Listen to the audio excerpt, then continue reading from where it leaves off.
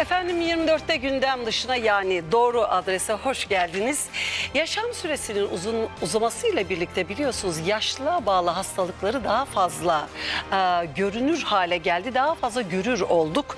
Bu, mesela bugün dünyada 45 milyonun üzerinde Alzheimer hastası varmış. İşte bu akşam ben de bunu konuşalım. Pek çok e, insanın sorunu zannediyorum. Çünkü galiba hayatta en zor şeylerden biri e, sevdiklerinin o insanı unutması diye düşünüyorum. Çok değerli konuklarım var bu haftada yine. Efendim Türkiye Alzheimer Derneği Başkanı Profesör Doktor Başar Bilgiç. Hocam hoş geldiniz, sefalar getirdiniz. Hoş bulduk. Psikiyatri uzmanı Profesör Doktor Işın Baral Kulaksızoğlu. Hocam hoş geldiniz. Sefalar getirdiniz. Aslında sizdeki titirleri sarılamaya başladığım zaman böyle sayfalar alacaktı. Böyle kıssasından yaptım. Skype üzerinden de Üsküdar Üniversitesi öğretim üyesi Profesör Doktor Tayfun Uzbay hocam var. Hocam hoş geldiniz. Sefalar getirdiniz. Hoş bulduk efendim. İyi akşamlar. Stüdyodaki değerli hocalarıma da iyi akşamlar. Selam, sevgi. Yine Skype üzerinden e, ilerleyen dakikalarda program konuklarım olacak. Çok değerli anestezi ve yoğun bakım uzmanı Doktor Muharrem Erol. Nişantaşı Üniversitesi öğretim üyesi Doktor Aynur Müdüroğlu Kırmızı Bekmez. Arel Üniversitesi öğretim üyesi Global Dergi yazarı doçent Doktor İnci Sökmen Alaca. Marmara Üniversitesi öğretim üyesi Tunç Akkoç da bizle birlikte olacak. Başar Hocam şöyle bir e, kerteriz noktamız olsun diye de işte yaşlılık hastalıkları diyoruz. Madem öyle şimdi bu günümüzde yaşlanma ve yaşlılıkla ilgili işte nörolojik hastalıklar artıyor deniyor. Artıyormuş. E, şöyle mesela yaşla bağlı bu nörolojik değişiklikleri nasıl değerlendiriyorsunuz? Mesela yaşla birlikte zihinsel işlevlerimiz neden nasıl bozuluyor? Öncelikle yaşla beraber zaten e, belli bir miktarda zihinsel işlevlerimizde azalma oluyor. Yani hepimiz 40'lı 50'li yaşları geçtikten sonra zihinsel işlevlerimiz e, belli miktarlarda, kabul edilebilir miktarlarda diyeyim, e, yavaş yavaş gerilemeye başlıyor. Fakat nörolojik hastalıklar, yaşlılıktaki nörolojik hastalıklar deyince aklımıza ilk gelen hastalıklar olan bunamalar ve özellikle Alzheimer hastalığında bu gerileme normal bir gerileme değil. Çok hızlı, çok ileri düzeyde bir gerileme. Yani şunu demeye çalışıyorum. Bizler doğuyoruz, büyüyoruz, eğitimden geçiyoruz, deneyimlerle birçok şey ediniyoruz kişiliğimizi oluşturuyoruz ki bu kişiliği oluştururken bellek gerçek bir zamktır birbirine bağlar.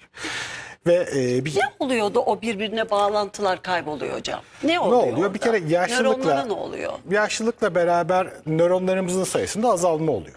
Yani belli bir yaştan sonra nöronlarımızda e, yüzde yılda yüzde bir, yüzde iki gibi diyeyim size. Mesela 50'li yaşlardan sonra beynimizin yüzde birini kaybediyoruz. Ama bu normal bir şey. Bu normal bir yaşlanma. Çünkü no- yaşlanmayla beraber böyle bir azalma sürecine geçiyoruz. Bununla beraber çok hafif düzeyde zihinsel işlevlerimizde de bozulma oluyor ama bu gene normal bir şey. Normal bir yaşlanma. Fakat Alzheimer hastalığına özelinde bakarsak ne oluyor? Bu e, nöron kayıpları çok daha fazla oluyor. O Alzheimer'a geleceğiz hocam ama mesela yeni yapılan araştırmalara göre öncelikle şöyle madem yaşlı hastalıklarını konuşuyoruz hani yaşlanma nedir diye konuşmak istedim. O yüzden böyle bir kerteriz noktası seçtim.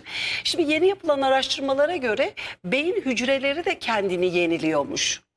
Buna rağmen niye e, mesela hala öğrenebiliyormuşuz? Üstelik bir sürü bilgi birikiminiz olduğu için e, hani e, daha kolay şekille mesela beyin hani kategorize etmeye hazırdır ya almaya E, daha kolay olabiliyormuş diye de bir e, görüş var. Siz hangisine katılıyorsunuz?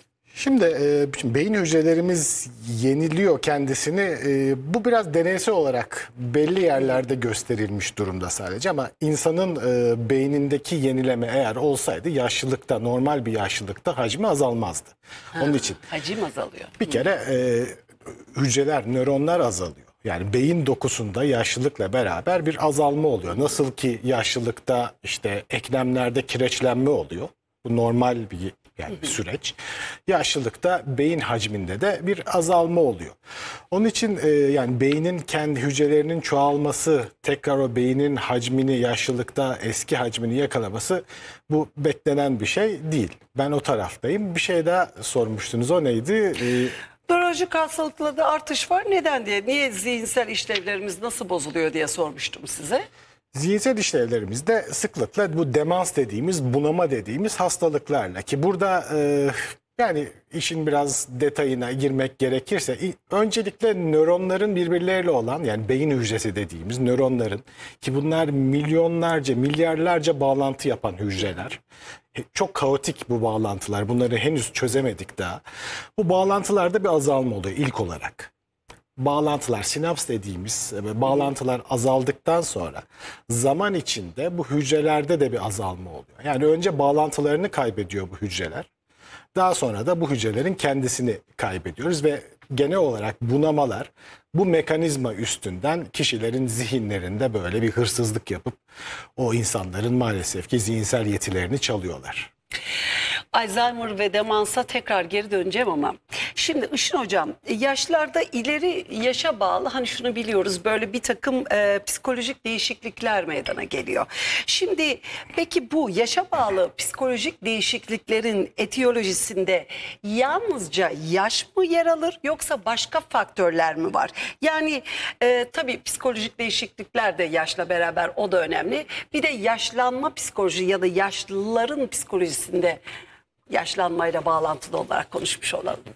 Ee, yaşlılıkta olan e, ruh sağlığı değişikliklerini üç temel noktaya oturtmak lazım. Bir tanesi e, biyolojik değişiklikler. Demin Başar'ın da söylediği gibi o hücrelerin kaybı sadece zihinsel yetilerin kaybolmasına yol açmıyor. Beyindeki bir takım maddelerin bir yerlerden bir yerlere transferinin de bozulmasına neden oluyor. Beynin optimum çalışmasını da engellemiş olduğu için bazı duygular yeterince canlanamıyor. Mesela çok yüksek sesle kahkaha atan bir yaşlı görmezsiniz ama bir genç görürsünüz. Yani bazı duygular biraz e, törpüleniyor. Daha böyle donuk e, hale geliyor. Çünkü o duyguları da oluşturan beyindeki hücreler, beyindeki hücrelerin birbirleriyle konuşması. Hücreler azaldıkça o beyin hücreleri birbirleriyle daha az konuştuğu için daha canlı duygular, daha hareketli duygular, daha e, dışa dönük hevesler azalıyor. Bu biyolojik tarafı daha detaylandırabiliriz. E, bir kişinin yaşlılıkta yaşadığı kendi psikolojik problemler olabilir, sıkıntılar olabilir. Mesela yaşla bazı kayıplar yaşıyoruz. Mesela komşularımızı kaybediyoruz, e, eşimizi kaybedebiliyoruz, arkadaşlarımızı kaybedebiliyoruz, yaşadığımız yerden taşınıyoruz, sağlığımızı kaybedebiliyoruz, mali imkanlarımızı kaybedebiliyoruz. Bu kayıplar kişiyi psikolojik olarak daha depresif, daha durgun hale getirebilir. Bu da olayın psikolojik e, tarafı. Bir de sosyal tarafı var. Yaşlıları sözde çok saymamıza rağmen işte yaşlılar baş tacımız olmasına rağmen fiiliyatta o kadar da baş tacı muamelesi görmüyorlar. Daha çok bakınız evde tek yaşayan ya da bir, e, kendi başına sorunlarını halletmeye çalışan ama bir araya sosyal olarak bir araya gelme imkanlarının çok az olduğu, yaşlı evlerinin az olduğu, yaşlıların bir arada vakit geçireceği yerlerin sınırlı olduğu bir takım sosyal imkanlarımız var.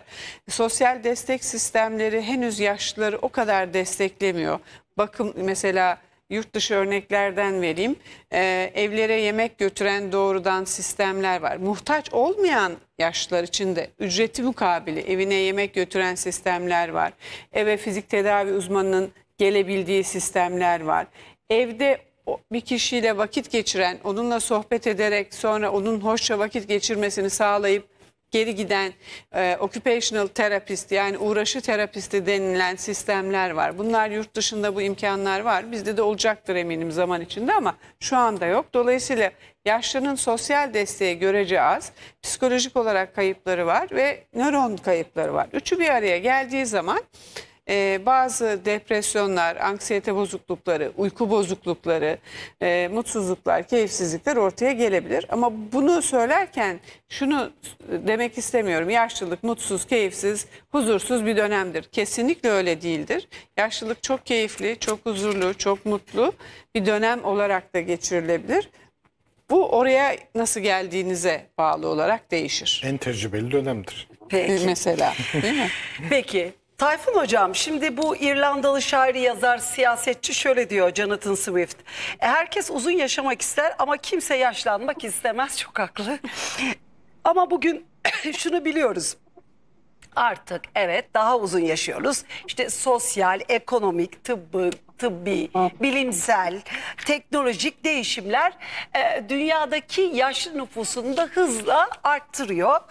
Şimdi biraz önce hocam söyledi bu yaşlanma teorilerinde mesela biyolojik yaşlanma, ekonomik yaşlanma, psikolojik yaşlanma ya da sosyal yaşlanma diye sınıflandırılıyor. Şimdi bu noktalardan baktığımızda yaşlanma tam olarak nedir? Mesela yaşlanma bir hastalık mıdır? Dahası yaşlanma süreci önlenebilir mi? Yani bu kaçınılmaz kader midir?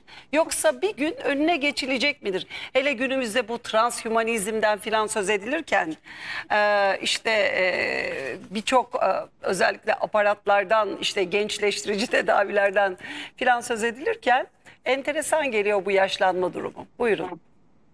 Evet. Şimdi e, yaşlanma bir kere bir hastalık olarak görme şansımız yok yaşlılığı. E, yaşlanma hayatın doğal e, akışı içerisinde, doğal e, gidişatı içerisinde çocukluk gibi, ergenlik ve gençlik gibi, işte olgunluk dönemi gibi e, bir dönem e, yaşlılık dönemi de.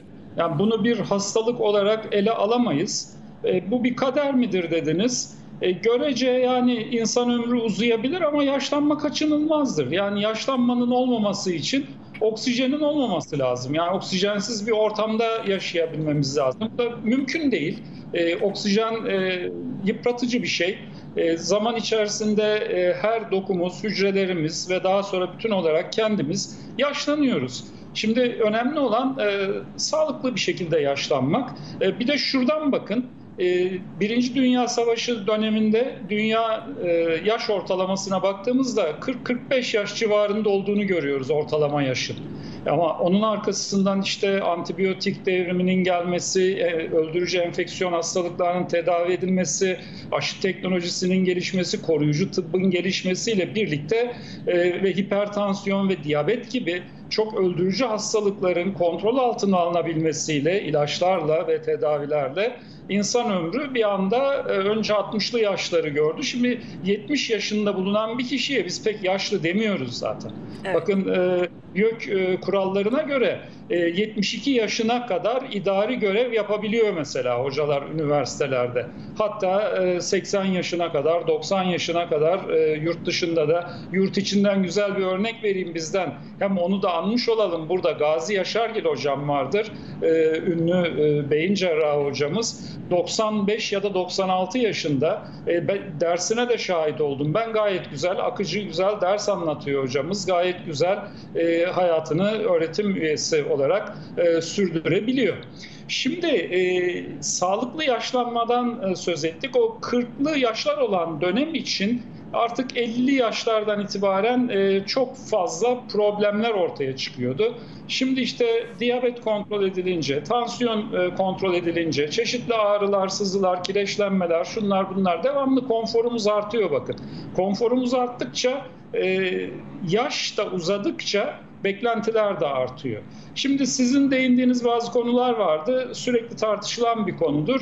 İşte 100 yıla kadar yaşayabilir mi insanlar? Bu tartışılıyor. Ve birileri de çıkıp diyor ki aslında insan organizması 120 yıl yaşayabilir. Ancak bugünkü koşullarda eğer insan 120 yıl yaşarsa ben size ne olacağını söyleyeyim ilk başta. Siz dediniz ki programı açarken 45 milyon Alzheimer hastası var. Buna her yıl 7 milyon ortalama e, Alzheimer hastası bir kere ekleniyor. 2040 yılında 2040'a işte 19-20 yıl 19 yıl kalmış şurada. Burada o 45 milyon 81 milyona çıkacak. 2050 yılında 135 milyon kişinin Alzheimer hastası olacağı öngörülüyor. Eğer insan yaş ortalaması yüzü geçer ve Alzheimer'a kökten bir çözüm bulunmazsa eğer dünya nüfusunun %75'i Alzheimer olacak. Neden? Çünkü bu hastalık 65 yaştan itibaren e, geometrik olarak e, hızlı bir şekilde artıyor her 5 yılda bir. 70 yaşınıza geldiğinizde risk daha çok, 75'te daha çok. 80 yaşınıza geldiğinizde 5 kişiden biri Alzheimer veya ağır demans hastası. E, o yüzden bu Alzheimer'a e, çözüm bulmak gerekiyor. Ve e, bu yüzden de nörobilimin, e, neuroscience'ın en fazla hastalık bazında yatırım yaptığı alandır gene Alzheimer, e, şizofreni ve otizmle birlikte. E, başlangıçta aslında güzel, ilginç bir soru sordunuz siz. E, yaşlılık bir hastalık mıdır diye. İşte yaşlılık döneminin hastalığı var, o Alzheimer. Ama gençlik döneminin de iki tane çok kritik hastalığı var. Biri bağımlılıktır mesela. Madde bağımlılığına e, gençler genellikle e, daha e, yatkındır ve gençlikte başlar madde bağımlılığı riski. Aynı zamanda 15-25 yaş bandında en fazla tanı alan bir hastalık vardır şizofreni hastalığı. Bir de çocukluğa gelirsek çocuklukta da 2 yaş civarında tanı alan bir hastalığımız var otizm. Bakın otizm ve şizofreni nöro gelişimsel hastalıklar olarak kabul edilir. Yani ya anne karnındaki gelişme döneminde ya da e, gelişme devam ediyor çünkü doğumdan sonra da devam ediyor. E, bu nöronların sağlıklı bağlantılar, yollar, yolaklar oluşturabilmesi için gerekli gelişimini bir sebeple tamamlayamamasına bağlı olarak e, ortaya çıkan hastalıklar, e, nöro gelişimsel hastalıklar. Alzheimer e, çok yakın tarihlere kadar nörodejeneratif hastalık kabul ediliyordu. Aynı Parkinson gibi. Parkinson'da da belli bir beyin yolağında, patikasında e, dopamin dediğimiz nörokimyasalın azalması söz konusu. E, Alzheimer'da da asetilkolin dediğimiz bir nörokimyasal var. Onun belli bir yolakta ciddi şekilde azalması söz konusu. E, buradan baktığımız zaman e, Parkinson gibi nörodejeneratif bir hastalık doğru e, gerçi şizofreni de ilerleyen dönemlerinde nöronal dejenerasyonlar orada da görülüyor doğru ama bugün e, yavaş yavaş kabul görmeye başlayan çok önemli bir yaklaşım var bilim dünyasında. Alzheimer'a da nöro gelişimsel bir hastalık olarak bakmak. Çünkü ömrün daha uzun bir döneminde ortaya çıkıyor. Bu belki de temeli anne karnında beynin gelişim sürecinde atılan ve e, gelişimin yaşlılık döneminde bir şekilde aktive olan veya tetiklenen bir sistem olabilir. E, bu konuda tabii bu spekülatif bir bilgi şu anda ama e, buna e, biraz nöro gelişimsel hastalık olarak da bakmak belki çözüm için faydalı olabilir diye düşünüyorum. Peki hocam şöyle devam edelim Başar hocam. Öyle güzel bir yere getirdik Tayfun hocam. Şimdi madem Alzheimer dedik şöyle devam edelim. Şimdi demans hani bir başa sarmış olayım. Biraz e, girdik e, irdeledik ama e, Alzheimer hastalığı aynı şeyler mi? Peki artı değilse mesela Alzheimer'ın belirtileri ne der? Neler? Mesela unutkanlığı olan herkes bu hastalık için aday mıdır? Dahası Alzheimer genetik ve kalıtsal bir hastalık mıdır? Diyelim benim genetiğimde ve kalıtsal olarak yoksa ben hiç olma ihtimalim yok mudur? Öyle midir? Peki bu sorulara 3 soru olarak alayım öyle cevap vereyim. Şimdi demans ne demek Alzheimer ne demek ondan bahsedeyim. Demans etimolojik olarak kelime anlamı itibariyle zihni yitirmek demek. Zihin yitimi demek. Ee, biz Türkçe'de buna bunama diyoruz. Demansın Türkçesi bunama. Peki Alzheimer ne? Alzheimer bunama yapan hastalıklardan bir tanesi. Ama en önemlisi en fazla bunama yapan hastalık. Onun için bir insan e, bunama dediğinde sıklıkla al, aklına Alzheimer hastalığı geliyor. Ama Alzheimer hastalığı dışında bunama yapan başka hastalıklar da var. Örnek tıbbi isimleri Lewis isimcikli demans, örnek frontotemporal demans. Bunların hepsi bunama yapan ayrı ayrı hastalıklar. Onun için bunama bir şemsiye terim. Demans şemsiye bir terim. Demans yapan hastalıklar var ve bunların en sık e, demans bunama yapan hastalık da Alzheimer hastalığı. Onun için e, bunama genel bir tanım Alzheimer spesifik bir hastalığı ifade ediyor. Şimdi Alzheimer belirtisi e, unutkanlık dediniz. Her unutkanlık Alzheimer'dir. E, buna şöyle bir şekilde başlayayım. Alzheimer hastalığı, klasik Alzheimer hastalığı olursa bellek bozukluğuyla başlıyor. Çünkü e, beyinde ilk etkilenen bölge bellekle ilgili bir yapı. Ama klasik olmayan Alzheimer hastalığı da var. Yani 10 hastanın biri esasında atipik dediğimiz klasik olmayan Alzheimer hastası. Onlarda bellek bozukluğuyla başlamıyor bu hastalık. Ya konuşma bozukluğuyla başlıyor, ya yön bulma bozukluğuyla başlıyor, ya Parkinsonizm dediğimiz başka bulgularla başlıyor. Yani Alzheimer hastalığı illaki unutkanlıkla başlamak zorunda değil ama %90 gibi ezici bir çoğunlukla unutkanlıkla başlıyor.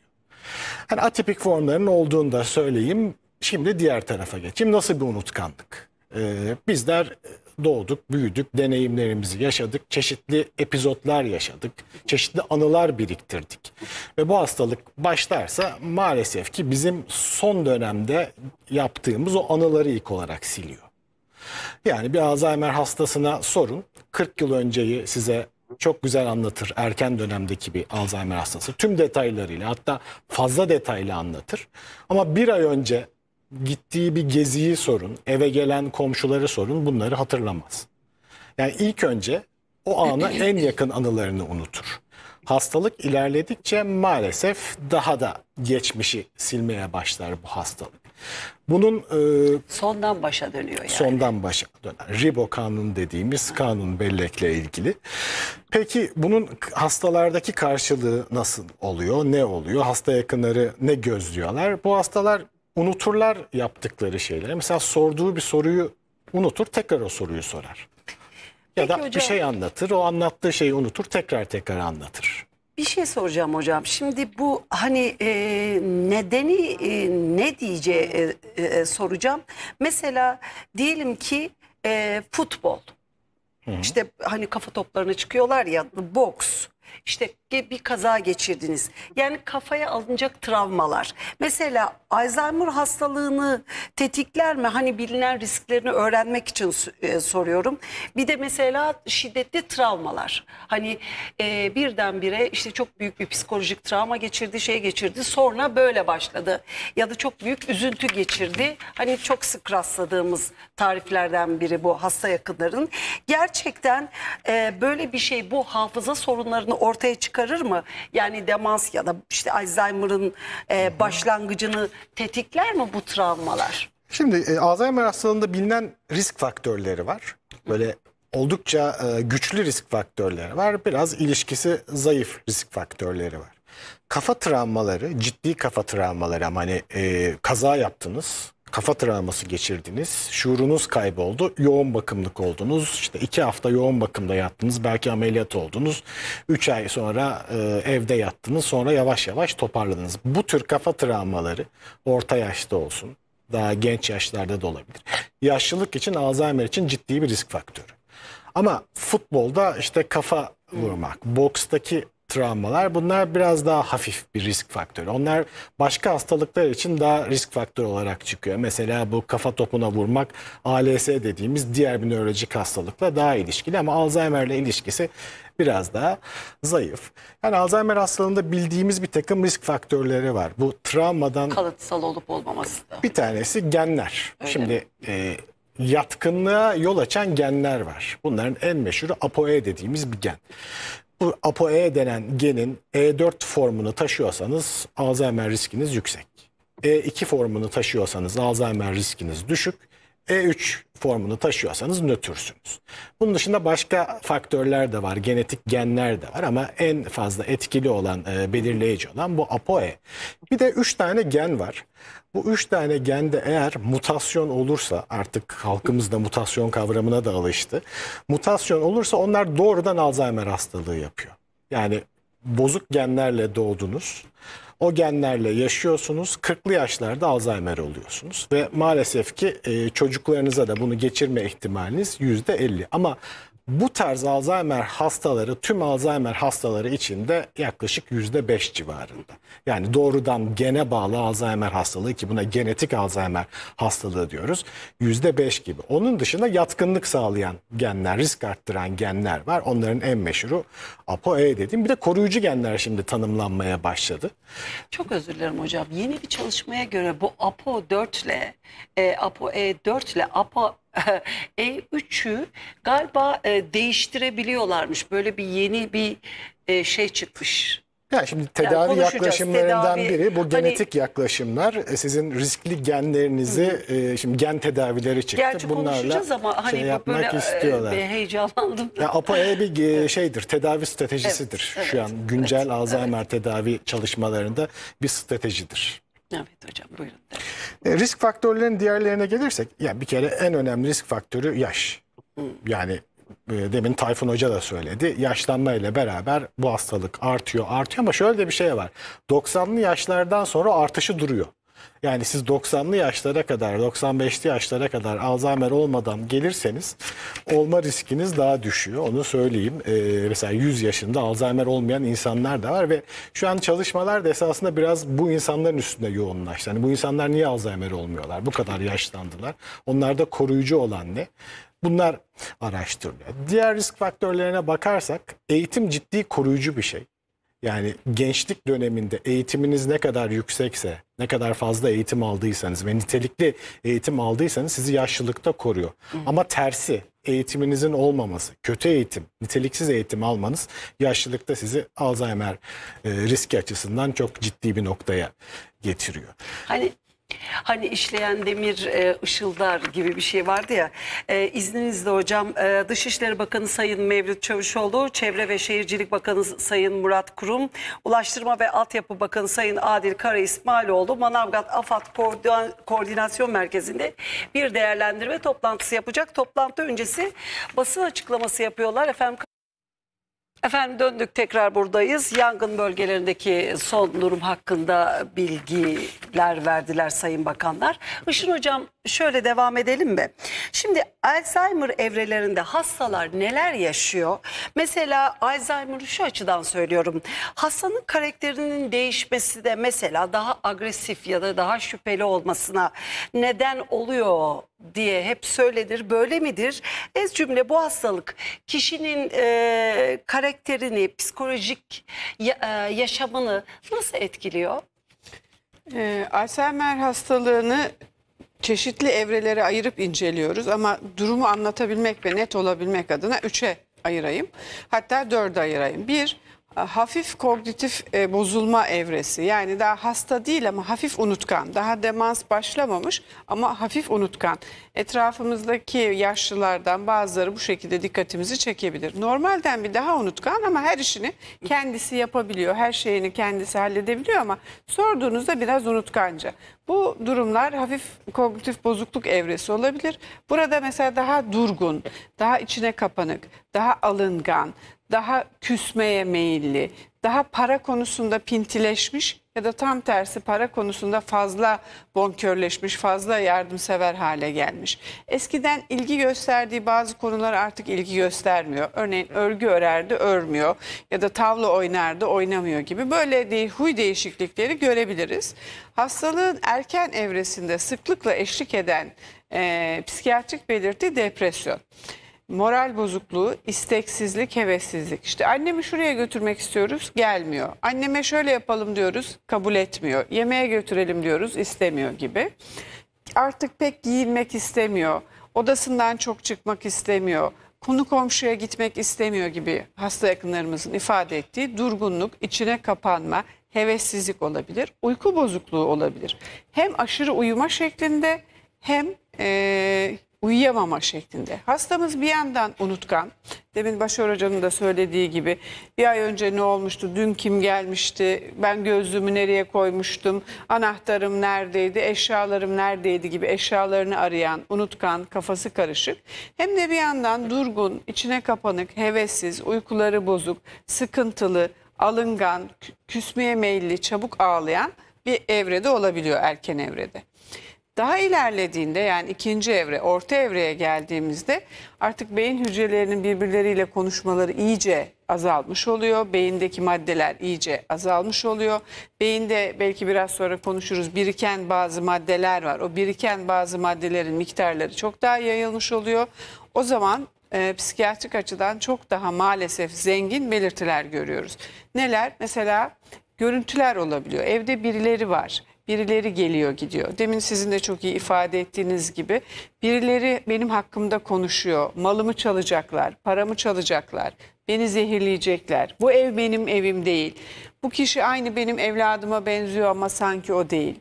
Veya televizyondaki kişileri gerçek zannetme. Mesela benim bir hastam kızına şey diyor. Bornozla oturma orada çünkü televizyondan seni görebilirler. Ayıp olur e, televizyondaki kişileri gerçek zannetme gibi.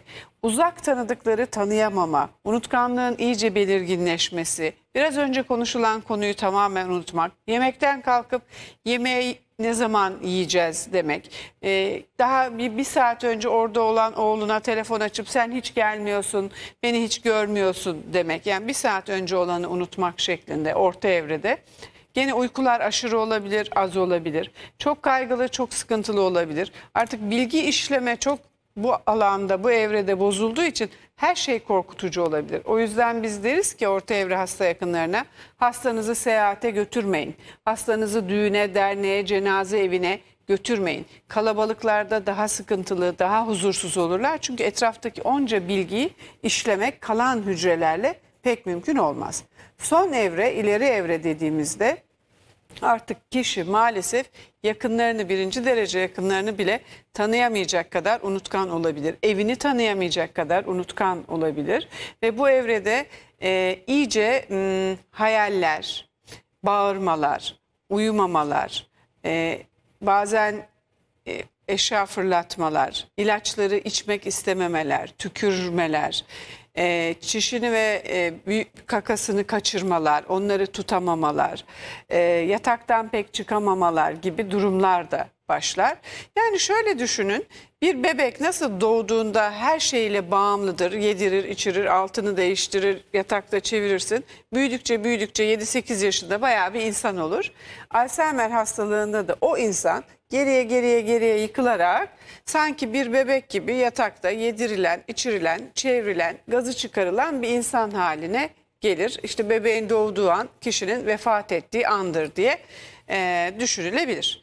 Yani erken evreyi 5-6 yaşında bir çocuk gibi, orta evreyi 2-3-4 yaşında bir çocuk gibi, ileri evreyi de 1-1,5 yaşında bir çocuk gibi hayal edebilirsiniz. Böyle geriye doğru zihin, ya hücreler yıkıldıkça zihin, psikolojik kabiliyetler, zihinsel kabiliyetler kaybolur diye özetleyebilirim hastalığın Hocam evrelerini. bir de şöyle bir şey söyleniyor bu Alzheimer için.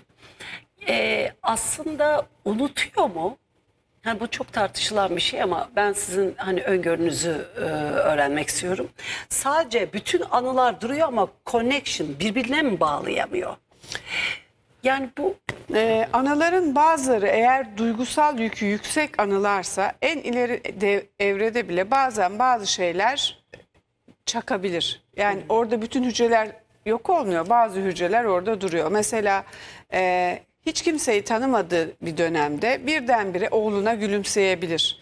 Hiç kimseyi tanımadığı bir dönemde çok bildiği ve beğendiği bir kokuyu duyduğu zaman belki bir parfümü böyle bir gülümseme, böyle bir hoşluk olabilir. Mesela benim bir ileri evre hastam kızının kızı olduğunu da tanımadığı halde kızı t- onunla konuştuğu zaman sakinliyordu. Çünkü o ses tonu bir şekilde ona bu kişi iyi biri, bana kötülük yapacak biri değil. Bu iyi bir şeydi, bu iyi bir kişiydi çağrıştırıyor.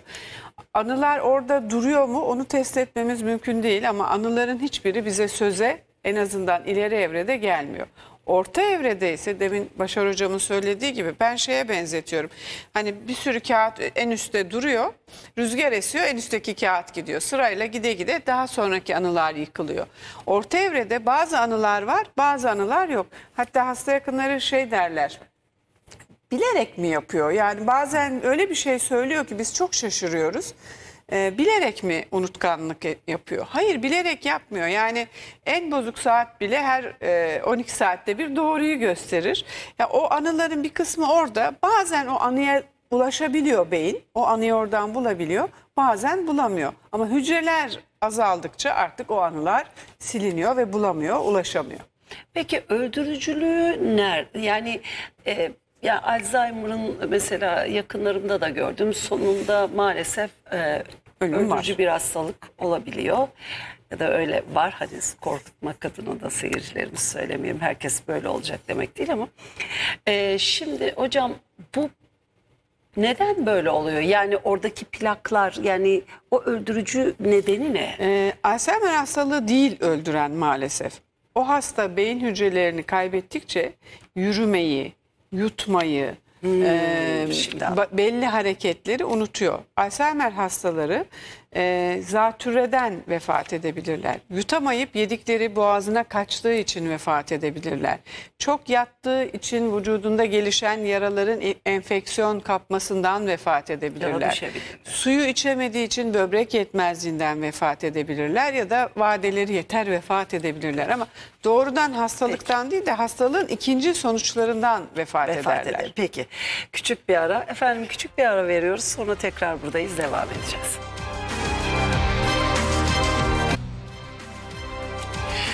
Efendim döndük tekrar buradayız. Alzheimer, Parkinson ve demans yani yaşlık hastalıkları konuşuyorduk. Tayfun hocam şöyle devam edelim mi?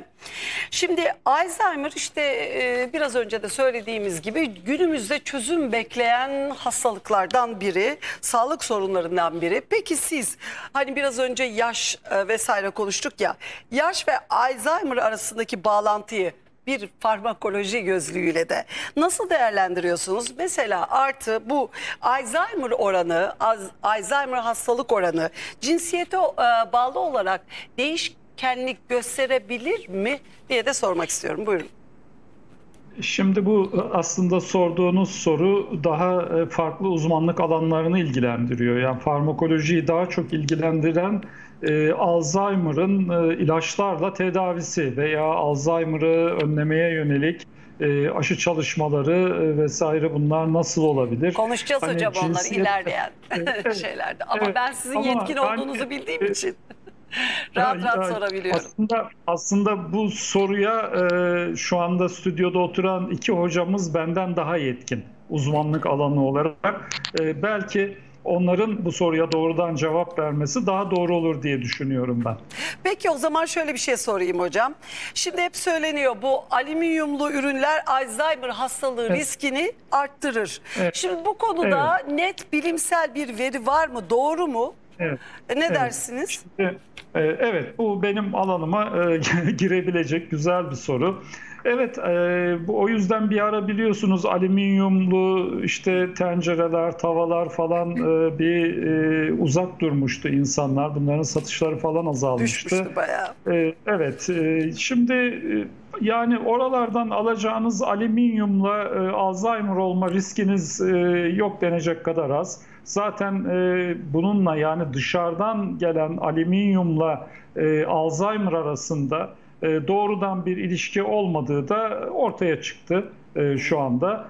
E, Çok daha karmaşık farklı e, sebepleri var bunun. Daha çok e, az önce hocalarım bahsetti e, orada e, yumak ve plak adını verdiğimiz bir şeyler oluşuyor beyinde e, zaman içerisinde. Sadece nöron kayıpları e, olmuyor. Bu oluşan yumaklar ve plaklar e, hem iletişimi azaltıyor. Böyle bir pas tabakası gibi düşünün bunu. Ya hocam, da hocam yapılan- küçücük çok özür dileyerek sözünüzü kesiyorum.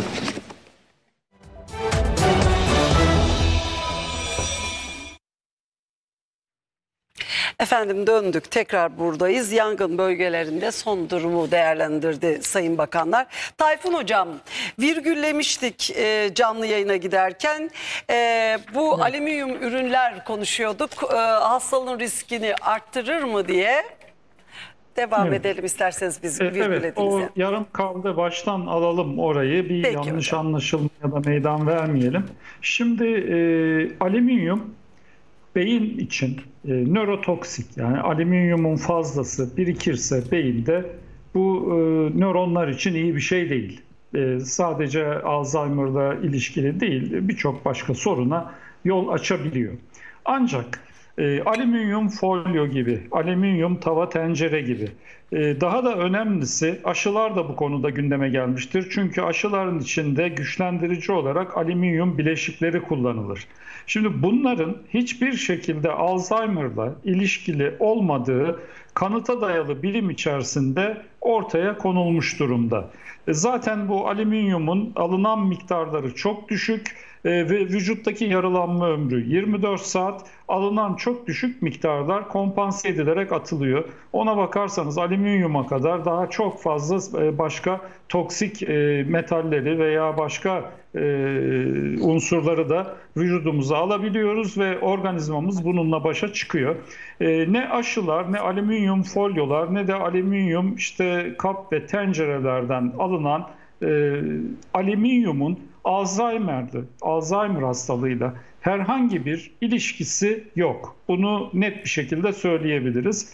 Ancak e, çeşitli plaklardan ve yumaklardan bahsetmiştik. Bunun iletişimi zorlaştıran hem nöronların birbirleriyle olan nöronal yolaklardaki iletişimi e, çok çok zorlaştıran bir e, duruma yol açtığını söylemiştim.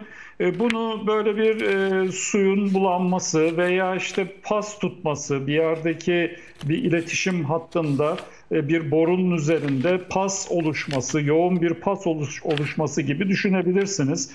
Bu yumak ve plakların Alzheimer hastalığıyla ilişkisi ise e, daha önceleri doğrudan bir ilişki bulunduğu düşünüldü ve bunun üzerinden e, yürünmeye çalışıldı. Yani bunlar temizlenirse hastalığın ilerlemesinin de tamamen duracağı veya hastalığın tamamen ortadan kalkacağı düşünüldü.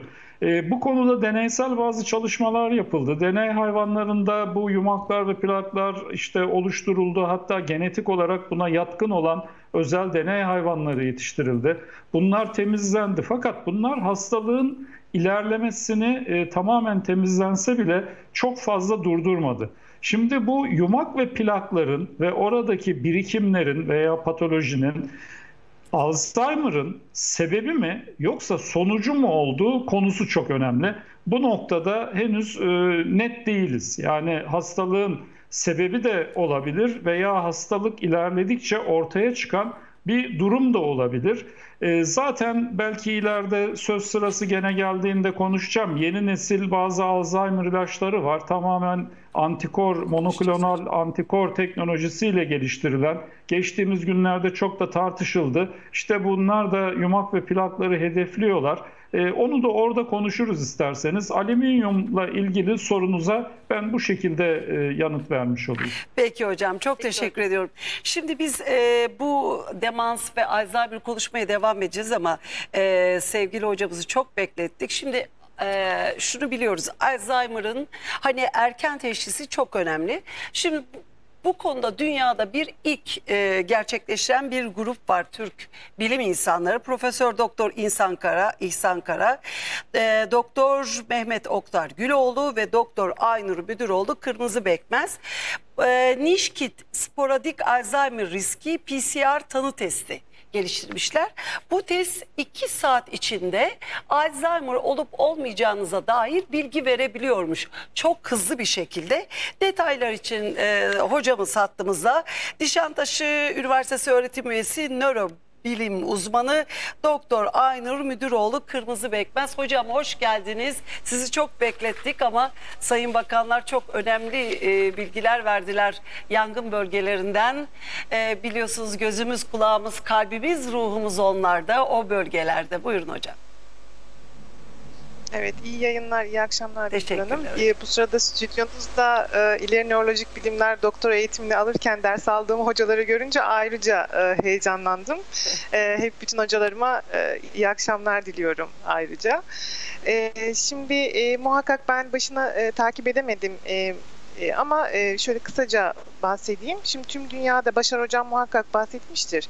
E, tüm dünyada en çok e, görülen ve e, tedavisi olmayan nörodejeneratif hastalıktır Alzheimer hastalığı ve bu hastaların %1 ila 5'i ailesi Al- Alzheimer hastalığı olarak e, oluşturur. Yani en az %95'inde sporadik Alzheimer dediğimiz e, sonradan gelişen Alzheimer hastalığını oluşturmaktadır. E, şu anda da işte 50 bin civarı hasta bulunuyor ve 30 yıla kadar da bunun 150 milyonu e, aşacağı düşünülmektedir. E, tabii bu durum e, hem maddi hem manevi bir yük oluşturuyor. Dediğim gibi maalesef tedavisi yok. E, hocalarım da e, bahsetmiştir muhakkak. Yapılan bazı çalışmalarda hatta çok fazla çalışma var. E, çevre koşullarını değiştirerek Alzheimer'a yakalanma yaşını geciktirdiğini ve engelleyebildiğini bize göstermekte. Şimdi bizde bu e, Alzheimer ve Parkinson e, çalış Parkinson hastalığı üzerine özellikle son 10 yıldır çalışıyoruz. Kök hücre üzerine çalışıyoruz. E, bu çalışmalardan da e, yola çıkarak bir tanı kiti geliştirmeyi amaçladık. Bir panel aslında bu. E, sporadik Alzheimer hastalığına e, yakalanma riskini verebilen bir kit. E, bunu geliştirirken GWAS meta analizi e, diye bilinen yani genom bağlantı çalışmaları bunlar e, binlerce e, hastada ve sağlıklı insanda genomları e, karşılaştırarak riskli e, genler ve allellerin e, ve bu allellerin e, hastalık e, riski yapma oranlarının belirlendiği çalışmalardır. E, bununla beraber Bununla tüm uluslararası veri tabanını taradık ve e, en yüksek riske sahip 6 gen belirledik. E, ve bu genlerdeki farklı allellerdeki poli, e, polimorfizmleri belirleyecek özel primerler ve problar tasarladık. E, tabii bunları belirlerken Alzheimer'a neden olan e, başta amyloid beta plaklarının e, tau proteinlerinin birikmesi ve hipokampüs küçülmesi gibi bazı e, durumları da göz önüne alarak e, bu genleri belirledik. E, tabii ki bunların başında ApoE4 geni var. E, bununla beraber 5 gen ve varyantlarını belirleyip analiz ediyoruz. E, Burada bir risk yüzdesi veriyoruz aslında doğru ifadeyle. Çıkan sonuçlara göre işte %65 oranında daha az yakalanma riskiniz veya işte 30 kata kadar daha fazla riskiniz e, vardır diyebiliyoruz. E, Tüm bunları belirlerken de e, var olan başka genlerinizdeki polimorfizmler bazen e, yüksek riskinizi düşürebiliyor. Tabii ki bunları da göz önüne alarak bir analiz gerçekleştiriyoruz. Yani bu e, Alzheimer'a yakalanma riskini azaltmış olacak bu PCR e, kiti. Öyle mi diyebiliriz Tabii. hocam? Peki. Şöyle diyebilir. Yani dolaylı yoldan evet öyle diyebiliriz. Peki. Çünkü ona göre önlem alabiliriz. Ee, işte Evet. beslenmesiyle vesaire. Peki. Şimdi bu hasta hastaların bu kite ulaşma maliyeti belli mi hocam? Çünkü biliyorsunuz yani e, bulunan şeyler kadar ya da servis edilen e, alternatifler kadar maliyetler de çok önemli.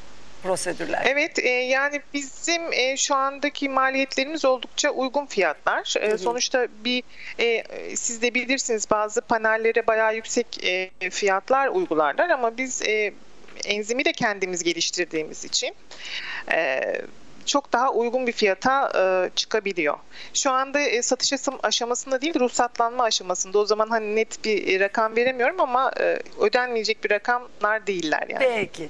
Çok teşekkür ediyoruz. Doktor Aynur Müdüroğlu Kırmızı. Bekmez. Herkese Çok iyi teşekkürler akşamlar hocam. diliyorum. Sağ olun. Aynur Hanım ayrılmadan Bir dakika, önce buyurun. burası önemli. Benim e, bir iki e, e, katkı veya sorum olabilir Lütfen belki. hocam. Tabii. Buyurun. Bu, bu çok önemli çünkü. Öncelikle e, tebrik ediyorum kendilerini. E, gayet güzel e, bir şekilde kafa yoruyorlar ve erken tanı çünkü önemli. Bunu erken kestirmek de çok önemli. Ama e, burada şöyle de bir açmazımız var. Yani bu Amerika Birleşik Devletleri'nde de e, çok iddialı bir şekilde Alzheimer'ın genetik altyapısı bu sporatik dediği e, hocamızın %99'luk e, geniş e, kısmı kapsıyor. E, Alzheimer'ın erken başlangıçta olan genetik mutasyona bağlı olan tipi e, çok daha düşük miktarlarda. Bu oldukça geniş bir popülasyonu ilgilendiriyor. Şimdi burada şöyle bir açmaz var. E, apolipoprotein E epsilon 4 e, bulunsa bile sizde Alzheimer olmama ihtimaliniz var. Yani bu Alzheimer Evet. olma riskinizi artırıyor sizin ama e, mutlaka Alzheimer olacağınız anlamına gelmiyor. Şimdi Evet. bir başka tarafı var bu işin. E, siz tabii ki çok daha iyi biliyorsunuz. Ben bu alanlarda e, çok uzman bir kişi değilim ama çevresel faktörlerin genleri değiştirmesi ve e, genlerin çevresel faktörlerle çok daha farklı bir şekilde hareket etmesi söz konusu. Yani ben size gelip de bu panelde bir Alzheimer testine girdiğim takdirde siz bana e, düşük deseniz yani hocam sizin Alzheimer olma ihtimaliniz düşük deseniz bu benim için bir garanti değil. Çünkü yaşayacağım çeşitli çevresel faktörlerle birlikte ben Alzheimer olabilirim. Ve veya e, deseniz ki sizde hem işte e, amiloid beta 42 birikimine neden olabilecek şekilde böyle bir genetik altyapınız var. E, bu da garanti değil. Evet e, riskimi artırıyor ama şimdi burada etik e, bilimi ortaya çıkıyor. Amerika Birleşik Devletleri'nde bazı intiharlar olmuş ve bunun arkasından da bunun e, tanılamaya yönelik olarak, olarak e, ortaya konulan bu testler yasaklandı bildiğim kadarıyla. E, Şimdi bunu nasıl aşabilirsiniz? Burada böyle bir açmaz var. Yani bir de bizim Türk insanını düşünürseniz insanlar duygusal. İnsanlara biz aşıyı bile anlatamıyoruz. Yani e, uzun vadeli yan etkilerini falan sorup insanlar aşı yaptırmaktan vazgeçiyorlar. E, geldi mesela Billur Hanım bir anda apolipoproteine epsilon 4 ve işte bağlı birkaç tane daha var. E, dünya başına yıkılır gibi geliyor bana. Tamam bunu önceden öngöreceğiz ama e, buradaki sıkıntı yani bilmiyorum ben belki e, çok doğru bir yerden bakmıyor da olabilirim ama merak ettiğim için Aynur e, Hocam yok. böyle bir Evet evet Sıkıntı. evet hocam çok haklısınız. Biz bunu e, zaten e, yaparken de düşündük, e, konuştuk. Hatta kendi aramızda da çok konuştuk. Ama e, dediğim gibi biz e, yüzde yüz şunu demiyoruz. Siz kesin Alzheimer hastası olacaksınız diyemiyoruz. evet. Yani bu bir tanı kitinden öte diye biz düşündük hani, öyle bir- sadece risk gösteren. Belki risk Evet, evet, evet, evet, bir risk risk ölçümü, evet. Aynen risk öyle. Ya Peki. sağlık profesyonellerinin değerlendirmesi daha doğru olur. Hani insanların gelip e, bir test yaptırmasındansa. Yani yaptırsınlar da Evet, tabii, yorumları şeye bırakmak Evet. lazım, uzmanlara bırakmak lazım. Ha, orada ben de bir Evet kat- evet onun analiz e, onun analizlerini pardon hocam e, dediğim gibi onun analizlerini biz e, diğer genlerle beraber e, kendi interaktif etkileşimlerine göre de çıkartıyoruz. Sadece baktığımız e, altıgen ve varyantlarına değil, aynı zamanda işte e, az önce dediğim gibi bazı başka genlerdeki polimorfik noktalar bazen yüksek riskinizi düşürebiliyor. Bunu da göz önüne alıp öyle bir analiz çıkartıyoruz.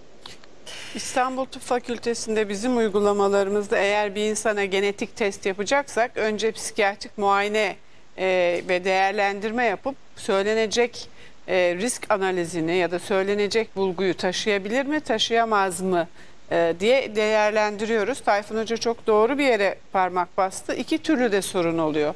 Bir, riskiniz yüksek dediğinizde de sorun oluyor. Kişi çok ciddi bir depresif sürece girebiliyor ailede herkesin riski var sizin yok dendiğinde de ben bütün bu aile bireylerine nasıl bakacağım ne yapacağım diye de yani normal olmanın da büyük bir sıkıntısı olabiliyor. Bu çok kolay bir şey değil. İnsanların önüne senin genetik olarak hastalanacağın olasılığı yüzde seksen filan demek. Peki. Aynur Hocam çok teşekkür ediyoruz tekrar. Ben teşekkür Teşekkürler ederim. İyi akşamlar. Teşekkür İyi akşamlar Tayfun. Sağ ol. Şimdi e, Tayfun Hocam dedi ki tanı koymayı uzmanlara bıraksınlar dedi. E, birazcık böyle Yani başa... takip takip ve kontrolü de, takip ve kontrolü de. Tamam hocam. Şimdi biraz o zaman başa alıyorum Başar hocam. Şimdi demans veya Alzheimer'ın sınırını aştığını nereden anlarız? Demans hastaları neden aniden kötüleşir?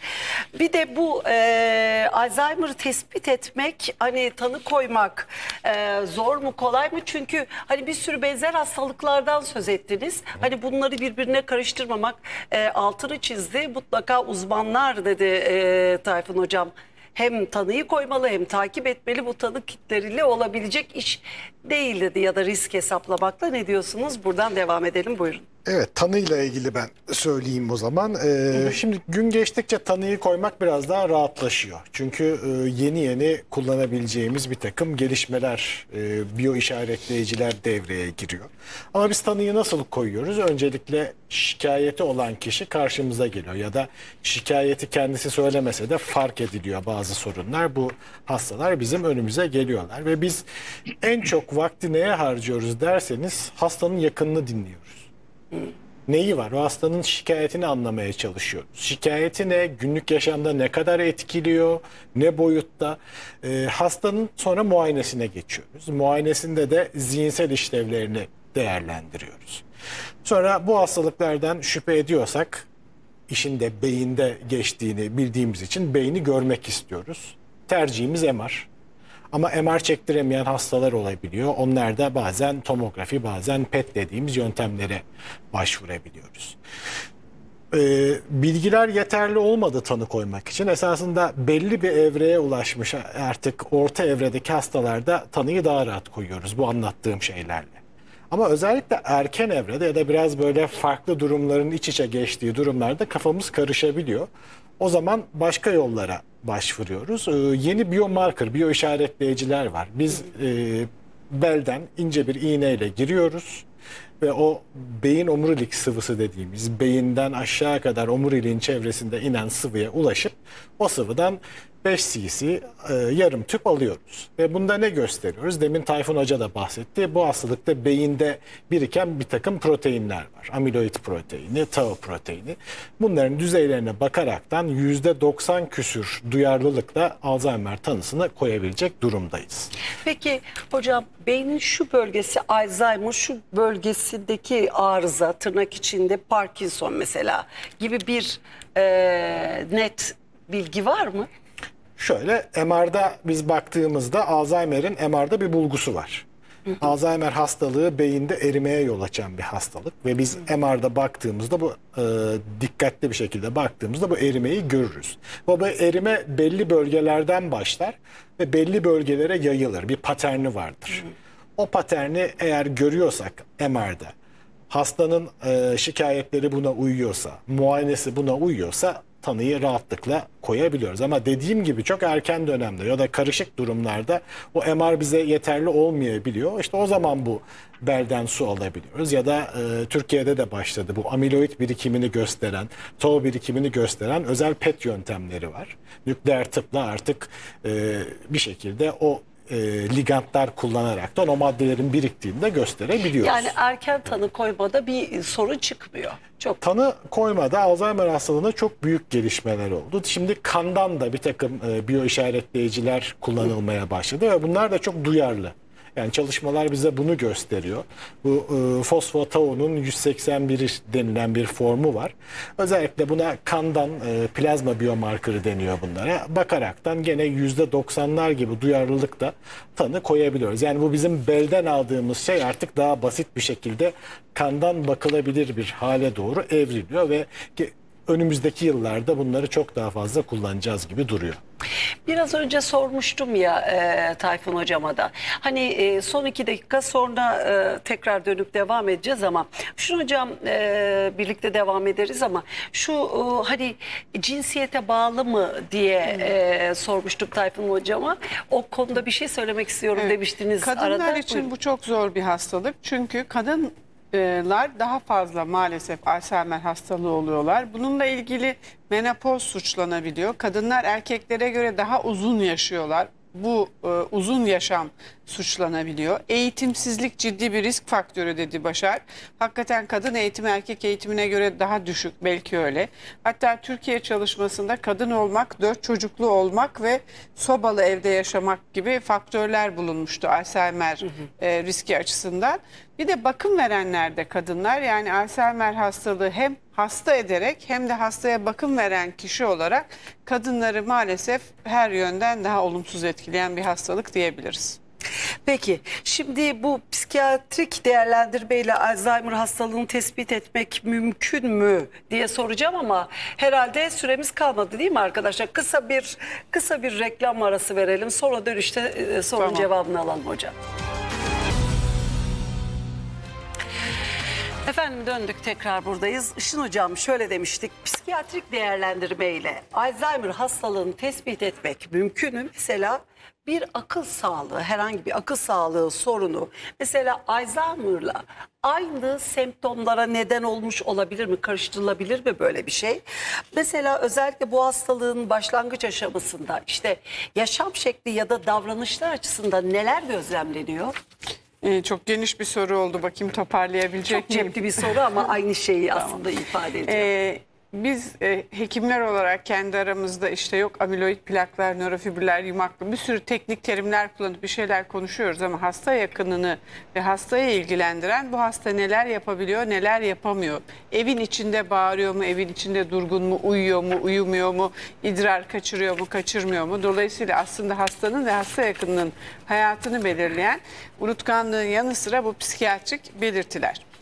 Ee, bir takım araştırmalar da yapılmış gerçekten. Bazı psikiyatrik ve günlük yaşam işlevleri özelliklerinin hastalığın evresini ve hastalığı tanımlayabileceği. Örneğin evden çıkıp kayboluyorsa bir hasta muhtemelen orta evrededir. Örneğin torunlarının adını dahi sayamayacak noktaya geldiyse ileri evrededir gibi böyle doğrudan bağlantılar var. Erken evrelerde hayalleri pek görmüyoruz ama orta evrede hayalleri çok görüyoruz gibi. Demansların da çeşitleri var. Bazı çeşitlerinde bazı özellikler daha ön plana geliyor. Örneğin frontotemporal demans gibi beynin ön tarafının eridiği e, bunama hastalıklarında e, bağırma, çağırmanın yanı sıra böyle eşya çalma, yenmeyecek şeyleri yeme, e, olur olmaz şeylerle... hmm, cinsel istek duyma gibi böyle kontrolsüz davranışlar olabiliyor. Hemen biz o kontrolsüz davranışları görünce frontotemporal demansı e, düşünüyoruz gibi. Dolayısıyla sorunuz evet psikiyatrik belirtiler bazen hastalığın tanısına ve çeşidinin tanısına yardımcı e, olabilir. Erken evrede en çok bizi zorlayan o mu bu mu diye bizi arada sokan e, bırakan şey depresyon hastalığıdır. Depresyonda da kişi içine kapanır, moralsiz olur, unutkan olur. Onun altını çiziyorum. Unutkanlık sadece demanstan olmaz. Tiroid beziniz çalışmadığında, kansız olduğunuzda, depresyona girdiğinizde, panik bozukluğunuz olduğunda da unutkan olursunuz. Unutuyor diye getirilen bir insanın altından sadece yaşlı bir insandan bahsediyorum. Majör depresyon hastalığı çıkabilir. Biz o hastaları takip ederiz. Zamanla bazen o hastalar demansa da dönerler ama dönmeyip tamamen iyileşenleri de olabilir. Erken evrede en çok depresyonla demans e, karıştırılabilir. Bu psikiyatrik belirtilerin önemi şurada. Psikiyatrik belirtilerin e, eğer tedavisi uygun şekilde yapılmazsa yanlış ilaçlar kullanılırsa altta yatan demansın hızlanmasına neden olabilir. Bazı ilaçların yan etkileri demansı hızlandırabilir. Bunu Tayfun Hoca da söyler. Asetilkolin denilen maddeyi azaltan yan etkisi olan ilaçları kullanırsanız demansı da hızlanır. Yani yaşlı birinde depresyonun uyku bozukluğunun doğru ilaçlarla tedavi edilmesi o yüzden çok önem taşır ki altta yatan depresyon şey demans artmasın diye. Ayrıca e, bu psikiyatrik belirtiler hem hastanın hem de hasta yakınının yaşam kalitesini belirler. E, bu bir aile hastalığı, kişi hastalığı değil. Yani evde bir demanslı yakınınız varsa onu yalnız bırakmamak, yemeğini pişirmek, evini ortamını düzenlemek, onun ilaçlarını sağlamak, onu doktora götürmek. Artık kendinden çok şikayet edemeyen bir insan için "Hı, bebek gibi galiba karnı ağrıyor ben en iyisi bir dahliyeye götüreyim ya da galiba idrar yollarında bir iltihap var ürolojiye götüreyim diye o hasta adına hasta yakınının karar vermesi gerekiyor. Bütün bu psikiyatrik belirtiler hastanın ve hasta yakınının yaşam kalitesini çok doğrudan etkiler. Onun için uygun tedavi gene çok önem taşır. Evde geceleri hiç uyumayan ve sürekli bağıran bir yaşlınız var. Sizin gününüz ne olur? Mahvolur. Bir kişi uyumaz, iki kişi perişan olur. O yüzden e, doğru yaklaşım, tedavi yaklaşımı önemli. Evde bakım ilkelerini ve ne zaman bakım evlerine e, bırakılması gerektiğini konuşacağız ama Tayfun Hocam şimdi geçtiğimiz günlerde bu Amerikan Gıda ve İlaç e, Dairesi FDA bir Alzheimer ilacına e, onay verdi. Adakenimab. Adukanama. Adu, Adukenim. Aducan, Evet. Aducanumab. Evet. Acu, bir daha telaffuz edin hocam. Adu, Aducanumab. Aa tamam. Aa, Aducanumab. Şimdi e, bizimkilerde böyle bir şey söylediler. Bu borla tedaviden, borlu ilaçtan falan söz ediyorlar. E, böyle birazcık araştırdım da birçok böyle e, Alzheimer'a yönelik umut verici araştırmalar ve yöntemlerden bahsediyorlar. Bu ilaçlar ve bu ilaç Alzheimer için bir umut olabilir mi? Dahası bu ilacın ya da bir ilaçla koruyucu ya da kökten tedavisi mümkün mü bu hastalığın? Son çalışmalar ne der, neler? Bir de bir cep daha atayım, e, bir e, cep daha açayım soruya. Bugün mesela mevcut ilaçlarla tedaviye erken başlamak koşuluyla hastalığın ilerlemesi durdurulabilir mi? Buyurun hocam ilaçlar. Evet, e, şimdi e, ilk önce en son sorduğunuza cevap vereyim. Hastalığın ilerlemesi e, durdurulmaz. Ama hastalığın yani mevcut ilaçlar için konuşuyorum. e, yavaşlatılabilir. Yani bir miktar ötelenebilir ve yaşam kalitesi hastalığın erken dönemlerinde hani erken tanı o bakımdan önemli. E, o orta evreye ve e, diğer evrelere geçme süreci bir miktar daha uzayabilir ve erken evredeki yaşam kalitesi biraz daha artabilir. Işın Hoca biraz bahsetti asetilkolinden. E, çeşitli nörokimyasallar var beynimizde, nöronlar arası iletişimden sorumlular. E, bizim e, bellekle ilgili bir hastalık, Alzheimer, işte unutmayla ilgili. Bellekle ilgili e, çok önemli bir nörokimyasal asetilkolin. Ve tıbbi terimle tam adını söylersek septohipokampal yolak dediğimiz bir sinir yolu, bir sinir yolağı var ve bu yolaktaki asetilkolinin iletimi ve e, hipokampusun e, iletişimi son derece önemli bellek açısından. Şimdi e, ilaçlar genellikle de bu e, başlangıçtaki e, ilk erken evrelerde e, doğru bir tanı alınırsa burada şunun altında çizeyim. İnsanlar mesela diyabet için işte e, arada bir kan tahlili yaptırırlar yaşlılar, tansiyonlarını ölçtürürler ama bence e, nörolojik muayene de çok önemli. Belli bir yaştan sonra yılda bir defa en azından veya 6 ayda bir defa zaman zaman düzenli olarak gidip hem bilişsel işlevler bakımından değerlendirme hem e, belki yılda bir defa bir e, beyin MR'ı çektirme veya onları değerlendirme. Düzenli Kaç yaşından sonra yapılması lazım hocam? Ee, Valla bu işte be- 60'lı yaşlardan itibaren başlaması gereken bir şey belki düzenli nörolojik kontrol ama bir takım başka risk faktörleri varsa, başka so- sorunlar da varsa daha erken de başlayabilir. Ee, bu e, kontroller sırasında zaten e, erken tanı koymaya yardımcı olabilir ve burada sadece Alzheimer'ı düşünmemek lazım. Demanslar da var. Yaşlılardaki e, demanslar da son derece önemlidir yaşam kalitesi açısından. Burada hedef şudur. Asetilkolin e, diğer e, nörokimyasallar gibi sentezlenir, işte yıkılır vücutta. Bunu yıkan bir enzim var. Bunu yıkan enzimi e, bloke ederek asetilkolinin sinaptik aralıktaki veya bu yolaktaki az önce bahsettiğim yolaktaki miktarını artırmaya yöneliktir bu ilaçlar. İşte donepezil var, takvin var, çeşitli ilaçlar var burada Ee, ve bunlar yoğun biçimde kullanılıyorlar. Halen de kullanılan ilaçlar. Fakat e, tabii ki bu ilaçlar hem hastalığın ilerlemesini tamamen durdurmuyorlar veya radikal bir şekilde yüz güldürücü bir şekilde e, etkili olmuyorlar. Hem bunların işte bir takım e, yan etkileri de olabiliyor. Bir de tabii beklenti de burada çok önemli. Şimdi ilaç dediğiniz zaman e, Başar Hoca'ya ya da Işın Hoca'ya bir hasta gitmişse ve onlar eline kalemi alıp bir reçete yazmışsa beklenti şu. Doktor bana e, bir ilaç yazdı ve ben bunun neticesinde e, bir ciddi iyileşme görmem lazım. Ama işte o bekledikleri o kökten e, iyileşme e, bu hastalıklarda bunun gibi birçok başka hastalıkta var. Maalesef yüzde yüz e, olmuyor. Hatta yani çok fazla başarılı olamıyoruz burada. Şimdi e, son zamanlarda e, bu aducanumab'dan bahsettiniz siz. E, tartışmalı bir şeyler oldu. Şöyle bir durum var bakın Alzheimer alanında. Şizofreniye birçok yeni ilaç geldi. E, depresyona birçok yeni ilaç geldi. Post travmatik stres bozukluğunda kullanabileceğiniz çeşitli yeni ilaçlar var. Yani bu, bu alanlarda ilaç teknolojisi iyi çalışıyor. Anksiyete ile ilgili, başka ruhsal hastalıklarla ilgili birçok ilaç e, ortaya çıkıyor. Alzheimer'a son 20 yılda hiçbir ilaca onay verilmedi. Birçok çalışma yapıldı, birçok çalışma faz aşamalarında, e, faz 3'e kadar gelenler oldu bunların içinde. Bunların bazıları da aşı çalışmalarıdır. Yani koruyucu bir tarafı da olabilecek şekilde Alzheimer'a karşı acaba aşı geliştirebilir miyiz diye de insanlar düşünüyorlar.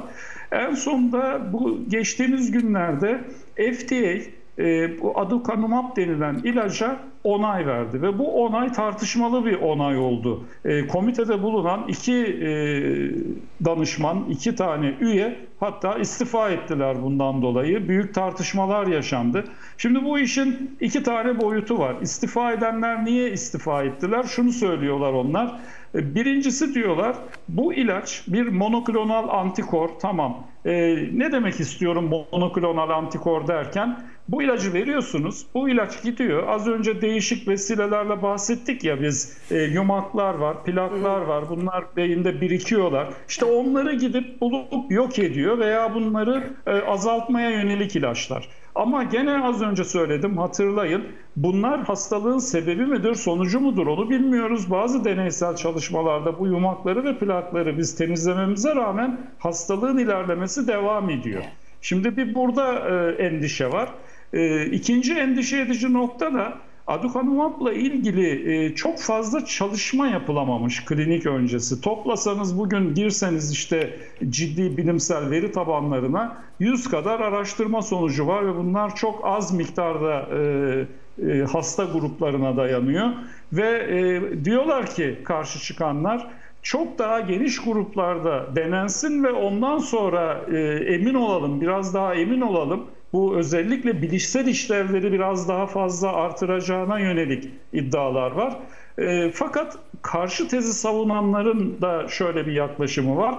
E, Alzheimer hastalarına müdahale etmediğimiz süre içinde zaten bu hastalık ilerliyor hastalar zor durumda. Ee, yani hasta yakınlarının onayı alınarak ve hasta yakınlarına doğru biçimde anlatılarak e, bu ilaç daha geniş gruplarda denensin ki buna onay verelim. Daha geniş gruplarda denensin ki eğer daha önceden kullandığımız konvansiyonel ilaçlar işte bu asetilkolinin yıkılmasını önleyen e, ilaçlardan bir tık iki tık daha fazla e, bilişsel işlevlerde düzelme yaparsa hastalığın seyrini yavaşlatmada bize yardımcı olursa bu önemli olabilir diyorlar.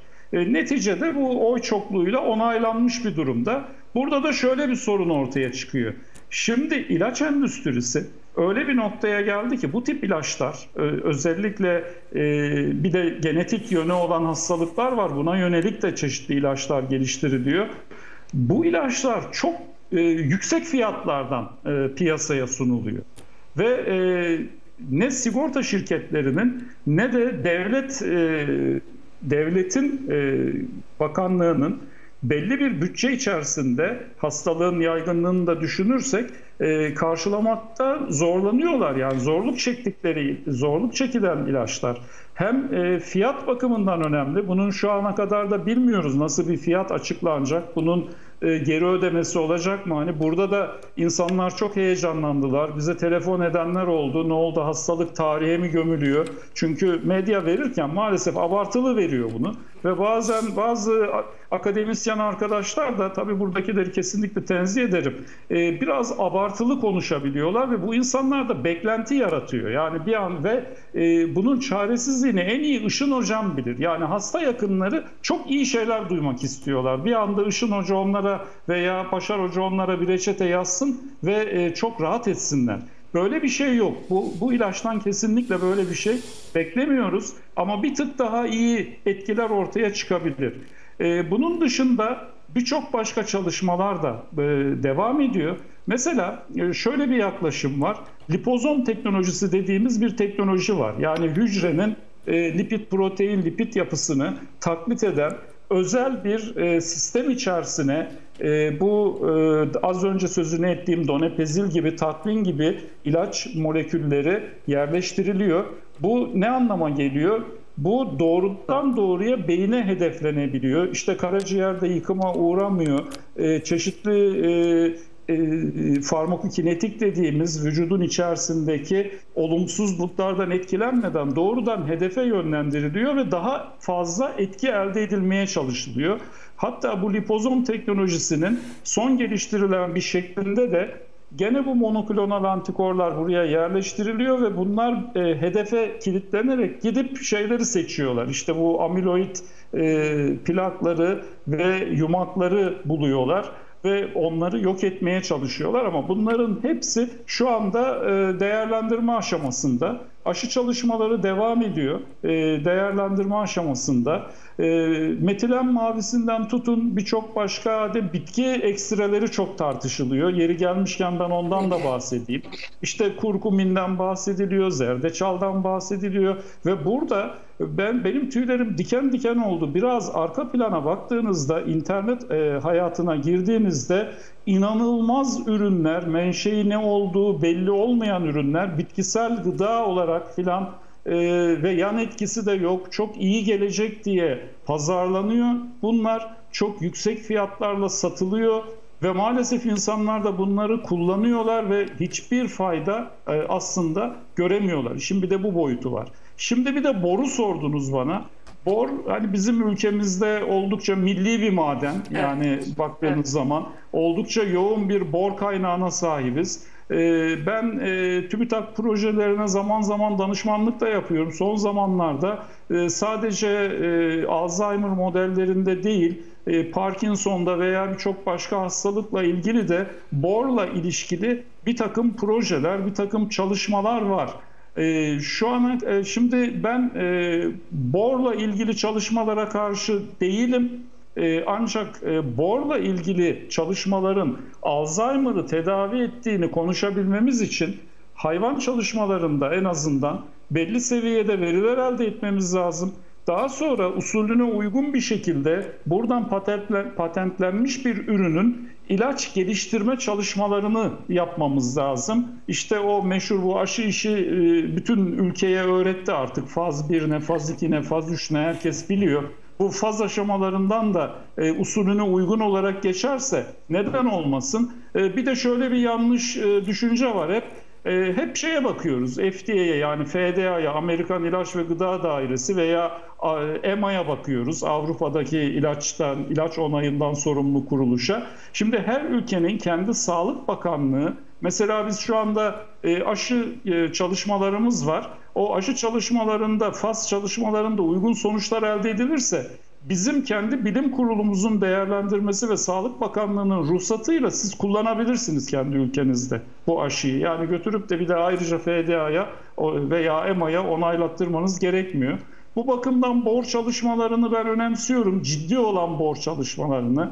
Başka çalışmaları da keşke bu kurkuminler, zerdeçallar falan onlar da ciddi bir şekilde etik kurallara uygun olarak e, belli bir sırayla bilimsel te, e, etiğe ve gene bilimsel e, metodolojiye uygun bir şekilde araştırılabilir. Bu şekilde araştırılıp da hani benim e, şu anda bir e, şeyin asetilkolinin yıkılmasını azaltan çeşitli ilaçlar kadar ya da bu demin bahsettiğimiz adokanumab kadar ya da memantin dediğimiz başka bir ilaç daha var. O da glutamat dediğimiz bir nörokimyasal üzerinden işliyor.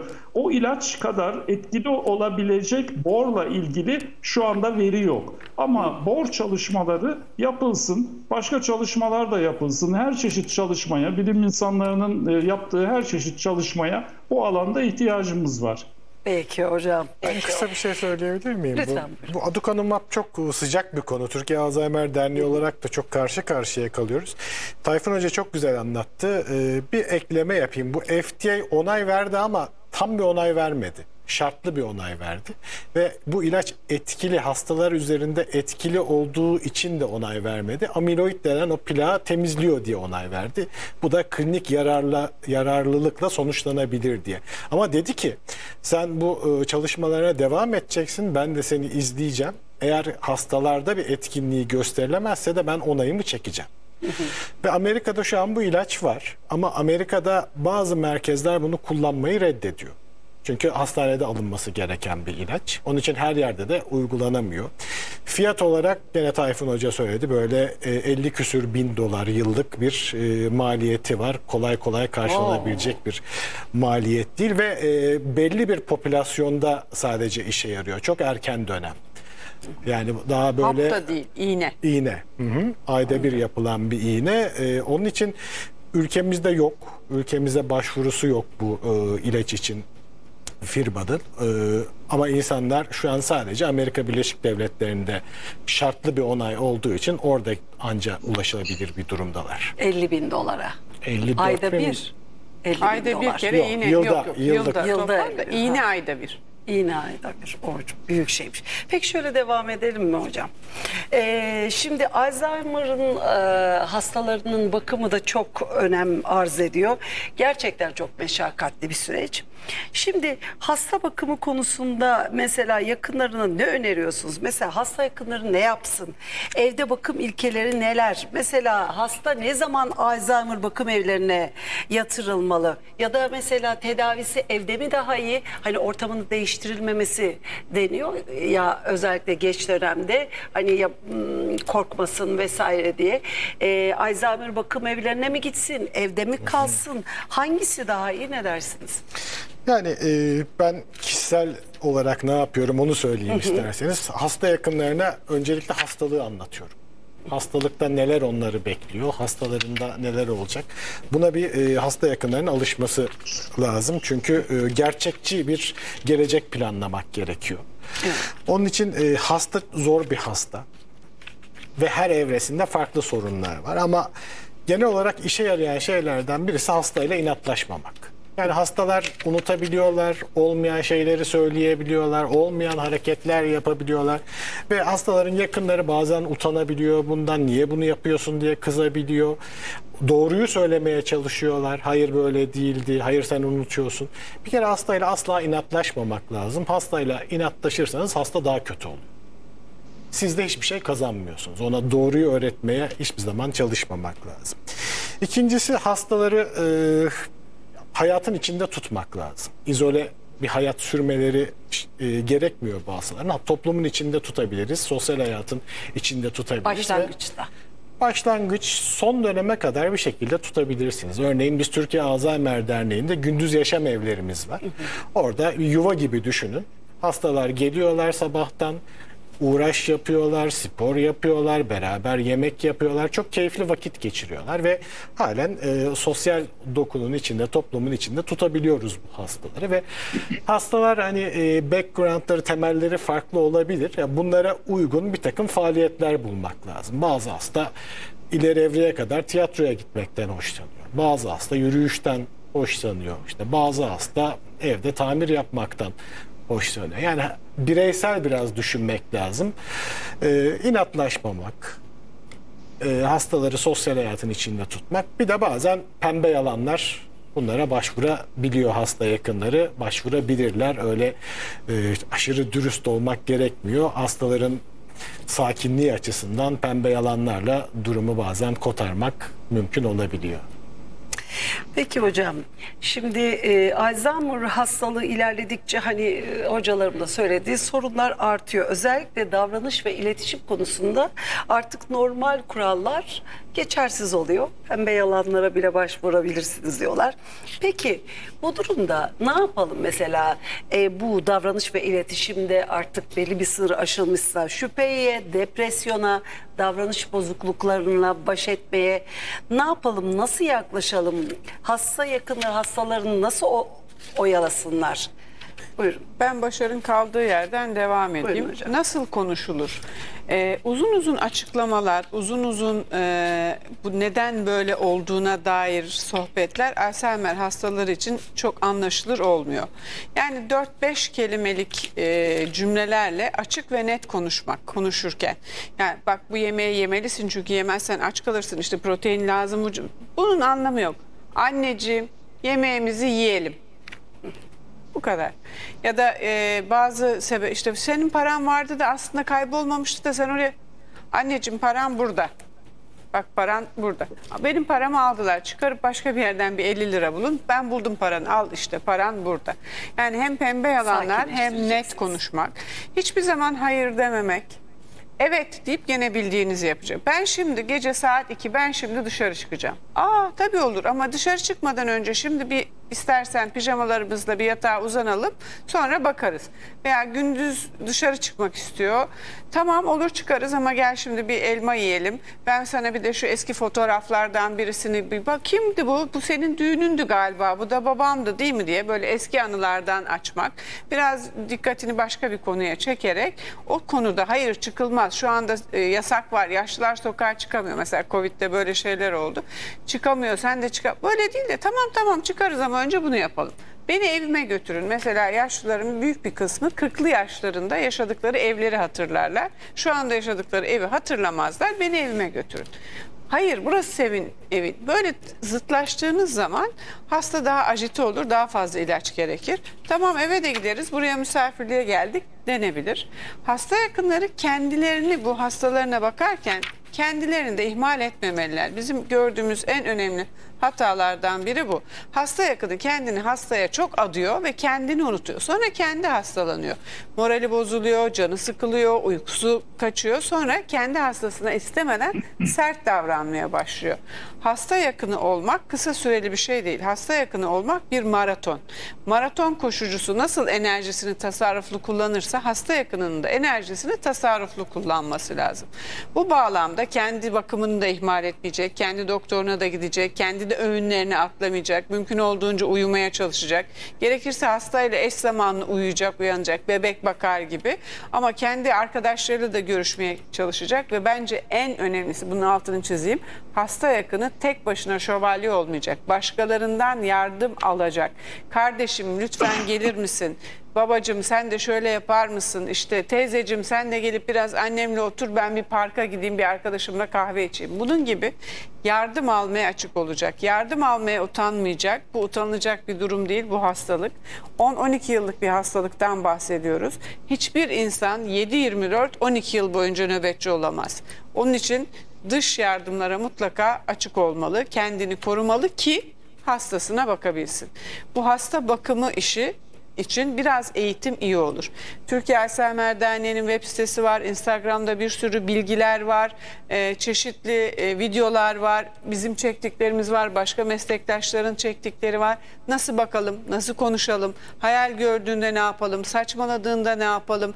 Evden çıkmak istediğinde ne yapalım? Nasıl oyalayalım? Hastanın bunlarla ilgili pek çok bilgiye ulaşılabilir. Türkçe bilgiye şu anda.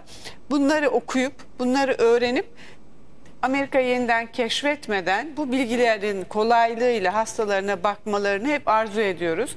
Gene de elimizden geleni bize sorulanlar olunca yapıyoruz ama hani birazcık daha e, interneti hasta yakınlarının efektif kullanması, bilgilenmeleri konusunda işe yarayabilir. Peki hocam şimdi Alzheimer hastalığı ilerledikçe hani tam zamanlı bakıma da ihtiyaç duyuluyor. Aslında çoğumuz istemiyoruz ama belki de bazen doğru karar. Biraz önce hocama da sordum. Sevdiklerimizi sürekli yaşayacakları bir bakım evine yerleştirmek gerekebiliyor. Konuyla ilgili hattımızda anestezi ve yoğun bakım uzmanı Doktor Muharrem Erol var. Hocam hoş geldiniz. Hoş bulduk efendim. Tüm hocalarıma ve sizlere iyi akşamlar diliyorum. Şimdi hocam e, Alzheimer ilerledikçe hastanın ihtiyaç ve tedavisi tabii ki zorlaşıyor. Hastanın bakım evlerine yerleştirilmesi konusunda ne söylersiniz? Hasta ve hasta yakınları açısından olumlu olumsuz tarafları nelerdir? Mesela bakım evlerini seçerken nereye dikkat edilmeli? Artı Türkiye'de yeterli Alzheimer bakım evi var mı? Tabii sayı açısından söylemiyorum, donanım açısından. Hem teknik hem e, orada çalışanlar, yetkin kişiler açısından söylüyorum. Bakım evlerinin seçimi hangi kriterlere göre yapılmalı buyurun hocam? Tavsiyeleriniz. E, Efendim hocalarımız zaten e, bütün konuları anlattılar. Bize hastalar genelde ailesi tükenmiş ve hastalarda bebeklik dönemine geldiği zaman geliyorlar. En son dönemde. Biz öncelikle hastaların ailelerinin biraz kendilerini zaman ayırmalarını sağlamaya çalışıyoruz ve hastalarına tek başına bakmalarının mümkün olmadığını anlatmaya çalışıyoruz. Ve hastaların her zaman e, komplikasyonlardan korunması için gerekli tedbirleri alıp onlara gerekli destekleri veriyoruz. Genelde e, hastaların tercih edecekleri bakım evleri bu tip hizmetleri verebilen kurumlar olmalı. Çünkü bu hastalarda e, hocalarımızın da söylediği gibi e, yeme sorunu, yutma, e, ha- hareket edememe, e, tamamen bakıma muhtaç durumda bize geldikleri için yahut evlere de biz gittiğimiz için e, bu hizmeti verebilecek kapasitede yerler olmalı. Bunların sayısı çok fazla değil tabii. E, bizim amacımız bu hastaların yaşam konforlarını sağlamak, e, vücutlarının e, bası yaralarıyla e, kaplanıp onların e, kötü e, yaralardan e, müzdarip bir şekilde hayatlarını devam ettirmeleri ve hayatlarının sonlanması gerçekten çok üzücü. Eğer bunlar iyi bakılırsa, beslenirlerse e, bu sorunların e, olması oldukça azalmaktadır. Ee, genelde aileler başlangıçta her ne kadar karşı çıksa da e, hastalarını ve yakınlarını bize getirmeleri çok zor oluyor. Ama bizi bize geldikten sonra ve hastalarının bakımlarını gördükten ve de güvendikten sonra gerçekten kendi hayatları çok değişiyor.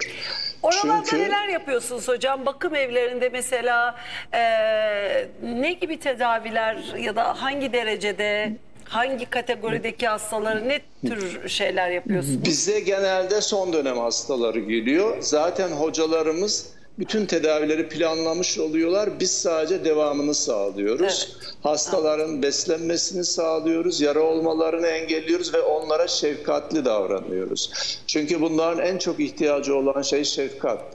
Ee, ve her türlü yardımı. Tabii bazıları tam son dönem ve yatalak olmayabiliyor.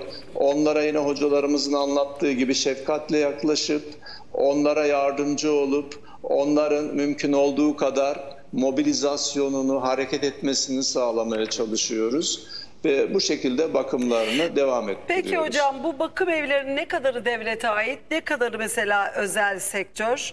Mesela bu e, özel bakım evlerinde örneğin sağlık sigortası geçiriyor mu? Her isteyen hastasını yatırabiliyor mu? Yoksa bunların bir kapasitesi mi var? E, işte hastasını yatıramayanlar ne oluyor? Buyurun. Şimdi e, tabii devlete ait bir takım bakım evleri var. O, özel sektörde de oldukça fazla huzur evi ve bakım evi var. Ama çok fazla hasta olduğu için e, devlette yer bulamıyorlar. Tabii ekonomik durumu iyi olmayanların durumu çok güç. E, mesela e, bakım evlerinde her zaman yerde artık bulunamıyor bu son zamanlarda. E, artık aileler de hastaları için destek almaya başladılar. Yakın bir tarihe kadar biraz zor getiriyorlardı hastalarını ama e, son son zamanlarda daha çok e, destek alıyorlar. Çünkü kendi hayatlarını, kendi işlerini devam ettirmeleri gerekiyor. Bence doğru olan da zaten bu. Dolayısıyla şu an e, gerçekten çok ciddi bir sorun var. Hem maddi anlamda hem yer bulma anlamında. Çünkü devletin bir desteği yok. Ee, bizim gerek sosyal sigortadan gerek diğer e, özel sigortalar bazen destekliyor ama genelde bir destek almıyoruz. Hasta aileleri kendi bütün masraflarını karşılıyor. Devletten sadece hastanın ilaçları, maması, e, işte bezi gibi bir takım e, destekleri devletten alıyoruz hastalarımız Devletin için. evde bakıma desteği var hocam. Devletin evde bakıma e, desteği var. Maddi olarak da desteği var ama e, zannediyorum sayı çok fazla olunca yani insanların evde bakması özellikle e, bu son süreç yani son dilime gelince hastalık e, gerçekten e, evdekileri ya da e, hocamın dediği gibi o- 12 sene bir hastaya bakmak e, gerçekten kolay. Ne kadar sevseniz de insanın hayatını çok zorlaştırabiliyor. Evet. Peki hocam çok teşekkür ediyoruz. Anestezi ve yoğun bakım uzmanı Muharrem Erol. Çok teşekkürler. Sağ olun hocam. Hocam Ben teşekkür ediyorum. İyi akşamlar. Sağ olun hocam. Hocam bir de şu Parkinson hastalığı ve Alzheimer arasında bir ilişki ya da ortak özellikleri var mı diye devam edelim. Çünkü galiba Parkinson'la Alzheimer da çok karıştırılıyor. Evet Parkinson hastalığı bunlar esasında özünde benzer hastalıklar. Nörodejeneratif hastalıklar dediğimiz işte bu beyinde kayıpla giden hastalıklar. Parkinson hastalığı e, benzer tarafları ne onu söyleyeyim. Alzheimer hastalarının ileri dönemlerinde Parkinson bulguları olur. Ee, yavaşlarlar, yürümeleri yavaşlar, böyle yüzleri donuklaşır. Böyle bir Parkinson bulguları Alzheimer hastalığının özellikle son döneminde eşlik eder. Parkinson hastalarının da yıllar yıllar sonra bir bunaması ortaya çıkar. Yani Parkinson hastalığında da bir bunama işin içine girer. Bunu, e, yani bu evreye geldiğinde hastalıklar birbirinden kolay kolay da ayrılmaz esasında. Ee, yani Parkinson hastalığında bunama olur, Alzheimer hastalığında da Parkinson bulguları olur. Bu şekilde böyle bir örtüşmesi var ve mekanizma olarak da birbirlerine benziyorlar. Ama temelde e, klinik olarak hastaların yaşadığı e, başlangıç bulguları çok farklıdır. Alzheimer hastalığında en çok unutkanlıkla, bellekle ilgili sorunlar olur. Bu şekilde başlar. Oysa bir Parkinson hastasında başlangıç ya elindeki titremedir, ya yürümesindeki yavaşlamadır, ya yüzündeki donukluktur. Yani bizim motor semptomlar dediğimiz hareketle ilgili semptomlarla başlar Parkinson hastalığı. Parkinson hastalığında e, nörotransmitter diyoruz. Tayfun Hoca söylüyor, Işın Hoca söylüyor. Nörotransmitter ne demek? Nöronların birbirleriyle iletişimde İletişim. kullandığı e, maddeler. Parkinson hastalığında azalan bir nörotransmitter var. O dopamin. Oysa Alzheimer hastalığında dopamin azlığı çok böyle e, baskın bir bulgu değildir. Bir de tedavileri farklı. Parkinson hastalığında günümüzde oldukça iyi bir şekilde tedavi edebiliyoruz hastaları. Bu dopamini yerine koyuyoruz. Ee, Beyin pili denen yöntemler var. On, karından verdiğimiz ilaçlar var, bağırsaktan verdiğimiz ilaçlar var ve e, Parkinson alanındaki tedavi çalışmaları çok daha hızlı gidiyor. Buna karşılık Alzheimer hastalığında konuşuyoruz. Tedavi olanaklarımız maalesef kısıtlı. Orada asetilkolini yerine koysak bile bunun karşılığı Parkinson hastalığındaki kadar yüz güldürücü olmuyor. Çok ufak tefek iyileşmelere yol açabiliriz. Oysa ama bir Parkinson hastasını normal bir halde yaşatabiliyorsunuz uzun yıllar boyunca. Hatta bazı hastalarımız var ki Parkinson hastalığını diğer arkadaşları, yakınları anlamıyor bile ilaç tedavisi altındayken. Özellikle erken dönemlerde. Peki hocam. Şun hocam şimdi Parkinson hastasının ev ortamı peki nasıl düzenlenmeli? Hani çok böyle titriyorlar falan ya. Aslında aynı şey Alzheimer için de geçerli. Herhalde ona göre de yani hani bir sürü şeyi unutuyorlar. Şimdi bu hastaların ev ortamı nasıl düzenlenmeli? Banyosu mesela çok önemli. Ee, Allah korusun yani çok, çok şey olabilir. Giyim ve yemek düzeni nasıl olmalı? Günlük bakımı mesela hastaların nasıl olmalı? Aileler ya da bak bununla ilgilenmek zorunda, hastalarıyla ilgilenmek zorunda olan kişiler nelere dikkat etmeli? Ee, ev ortamı güvenliği çok önemli çünkü yaşlılar düşer. En çok evde düşer ve evde düştükten sonra da bazı başka sorunlar, kalça kemiği kırılabilir, ondan sonra hastane, ameliyat filan derken pek çok istenmeyen şeye yol açabilir. Ee, Alzheimer hastaları ve Parkinson hastaları için bir genel kurallar var. Düşmeyi engelleyecek halılar, kaygan yerdeki paspaslar vesaire kaldırılmalı. Küçük sehpalar, üstlerinde biblolar falan gibi düzenlemeler de kaldırılmalı. Ee, çay, kahve gibi şeyler üzerimize dökülebilir. Bunları sağlam ve geniş tabanlı bardaklarda e, hastanın korunması açısından servis etmek güzel. Yatağın bir tarafının duvara dayanması ve en azından yatağın iki tarafından düşebilir olmasının engellenmesi. Belki yatakların kenarlarının kaldırılır olması. Yatak odasında gece uyanıp da tuvalete gitmek isterse orada bir küçük sehpa, burada bir e, ne denir ona puf bilmem böyle şeylerin olmaması. Hastaların e, evin içinde rahat ve bir şeye takılmadan mobilize olabileceği e, ortamların hazırlanması. Banyoda tuvaletin yanında bu engelli tuvaletleri var. O modelden elini tutabileceği yani tuvalete otururken kalkarken tutabileceği bir tutamak. En çok banyoda düşülür. Banyoya girip çıkarken o eşik ya da küvet varsa Biz tercih etmeyiz yaşlılar için küveti. Özel oturaklar var yaşlının oturup üzerinde yıkanılabileceği vesaire. Yani biraz alet edevat da gerekebiliyor ileri evre için özellikle. Bu genel kurallar. Öte yandan Alzheimer hastaları için daha ayrı kurallar da var. Ocağı açık unutabilirler, kapıyı açık unutabilirler, anahtarlar mutlaka yedeklenmeli, gaz, gaz için emniyet kilitleri olmalı, Ee, balkon e, korumalı bir hale getirilmeli. Balkonlar bayağı tehlike arz edebilir. E, fişler unutulabilir, yangın çıkabilir. Bunlar için gözetmek ve belki biraz daha dikkatli ev içi güvenlik tedbirleri almak gerekebilir. Düşmenin önlenmesi başlı başına zaten bir e, iş. Bir de geriatri bilimi var. Yaşlının dahiliyesi diye düşünülür. E, belki daha doğru olabilir. Geriatristler kas erimesini engellemeye çalışırlar sıklıkla. Niye? Yaşlı evde düşmesin, düşerse de bir yeri kırılmasın diye Alzheimer hastalarını ve Parkinson hastalarını ki Parkinson hastaları da küçük küçük küçük duruyorlar ya düşmeden koruyacak ev içi her türlü tedbir. Büyük ekranlar, yanar dönerli lambalar, farklı farklı loş ışık yapan abajurlar bunlar da uygun değil. Parlak gün ışığı lambaları, odaların iyi aydınlatılması, e, iyi havalandırılması bunlar önemli.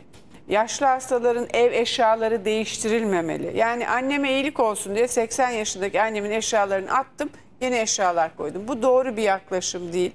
Yaşlılar kendi sevdik eşyalarına da çok bağlı olurlar. Kendi sevdikleri eşyalarıyla yaşamalılar, yaşlanmalarını böyle sürdürmeliler ve son zamana kadar kendi eşyalarıyla kalmalılar.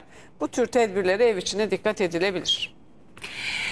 Tayfun Hocam e, son 10 dakikam 5 dakikasını bu teknolojik yeniliklere ayırdım. 5 dakikası da sizin olsun izninizle. Şimdi bu hocam da söyledi ya bu beyin pili ameliyatlarından çok söz ediliyor. Şimdi bu e, beyin pilleri bu hastalığın tedavisinde nasıl so- e, sonuç veriyor? Hangi evresinde takılıyor? Belli bir yaş sınırı var mı? Bir de bu hastalığı karşı hastalanmadan önce Parkinson'a mesela işte ilaçla düzeltmeni ya da bu hastalığı kesin iyileştirecek şöyle bir ilaç var mıdır? İlaçlar ne diyor e, bu hastalıkla ilgili? Evet. Şimdi e, pil tarafını e, gene e, Başar Hocam var, nörolog. E, o çok daha yetkin benden. Gene ona sayayım. İlaç tarafına gelince e, Başar Hocam da bahsettiği bir miktar e, kullanılmakta olan ve kullanılan ilaçlardan. E, şimdi Alzheimer'da e, mukayese edersek Parkinson hastalığında daha etkin e, ilaçlarımız. Yani Alzheimer'daki kadar e, burada olumsuz konuşmayacağım ben. Özellikle kademeli tedavi vardır. Evre evredir e, Parkinson hastalığının tedavisi. Birinci evre, ikinci evre diye e, üçüncü ve dördüncü evre vardır. Bu evrelerde değişik ilaçlarla tedavi yapılır. Bunlar tedavi protokollerinde var. Parkinson'da erken tanı çok önemli. E, tedaviye erken başlama çok önemli.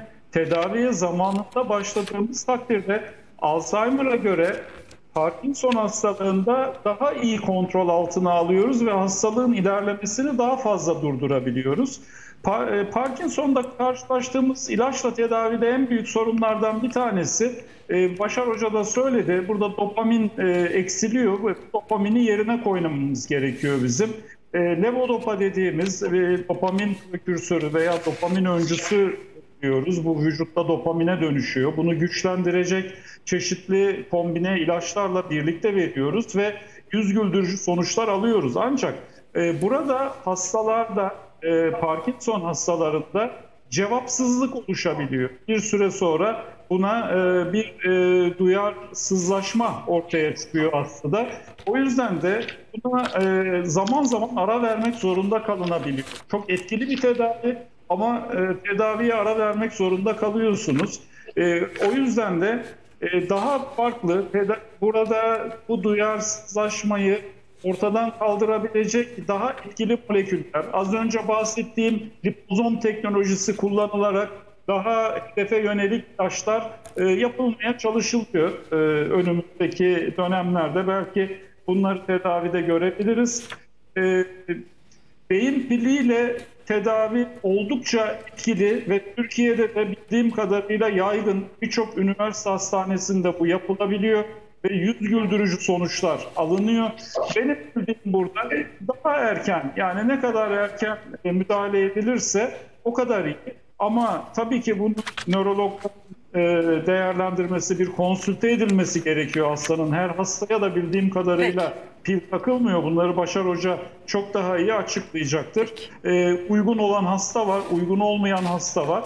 E, ama uygun olan hastalarda pil ilaçtan çok daha etkin bir şekilde kontrol ediyor. Son Peki. bir şey söyleyeyim. Hemen çok kısa 30 saniyede. Parkinson hastalarında e, dopamini artırıyoruz. Ama Parkinson hastalarında karşımıza enteresan bir yan etki çıkıyor bu ilaçlarla ilgili. E, kumar bağımlılığı, aşırı sekse düşkünlük veya yeme bağımlılığı veya başka bağımlılık türleri ortaya çıkabiliyor. Bu da e, dopamin yolakları var, e, dopamin yolları var beyinde. Bir tanesi nigrostriatal yol dediğimiz gene e, tıbbi şeyi o şekilde, tıbbi ismi öyle. Orada nörodejenerasyon olursa, nöron kaybı olursa Parkinson çıkıyor. Şimdi biz e, ilacı yüklüyoruz, verdik dopamini ama bir de bizim mezolimbik yolak dediğimiz başka bir yolak daha var. O yolak da motivasyonla falan ilgili, bağımlılıkla ilgili.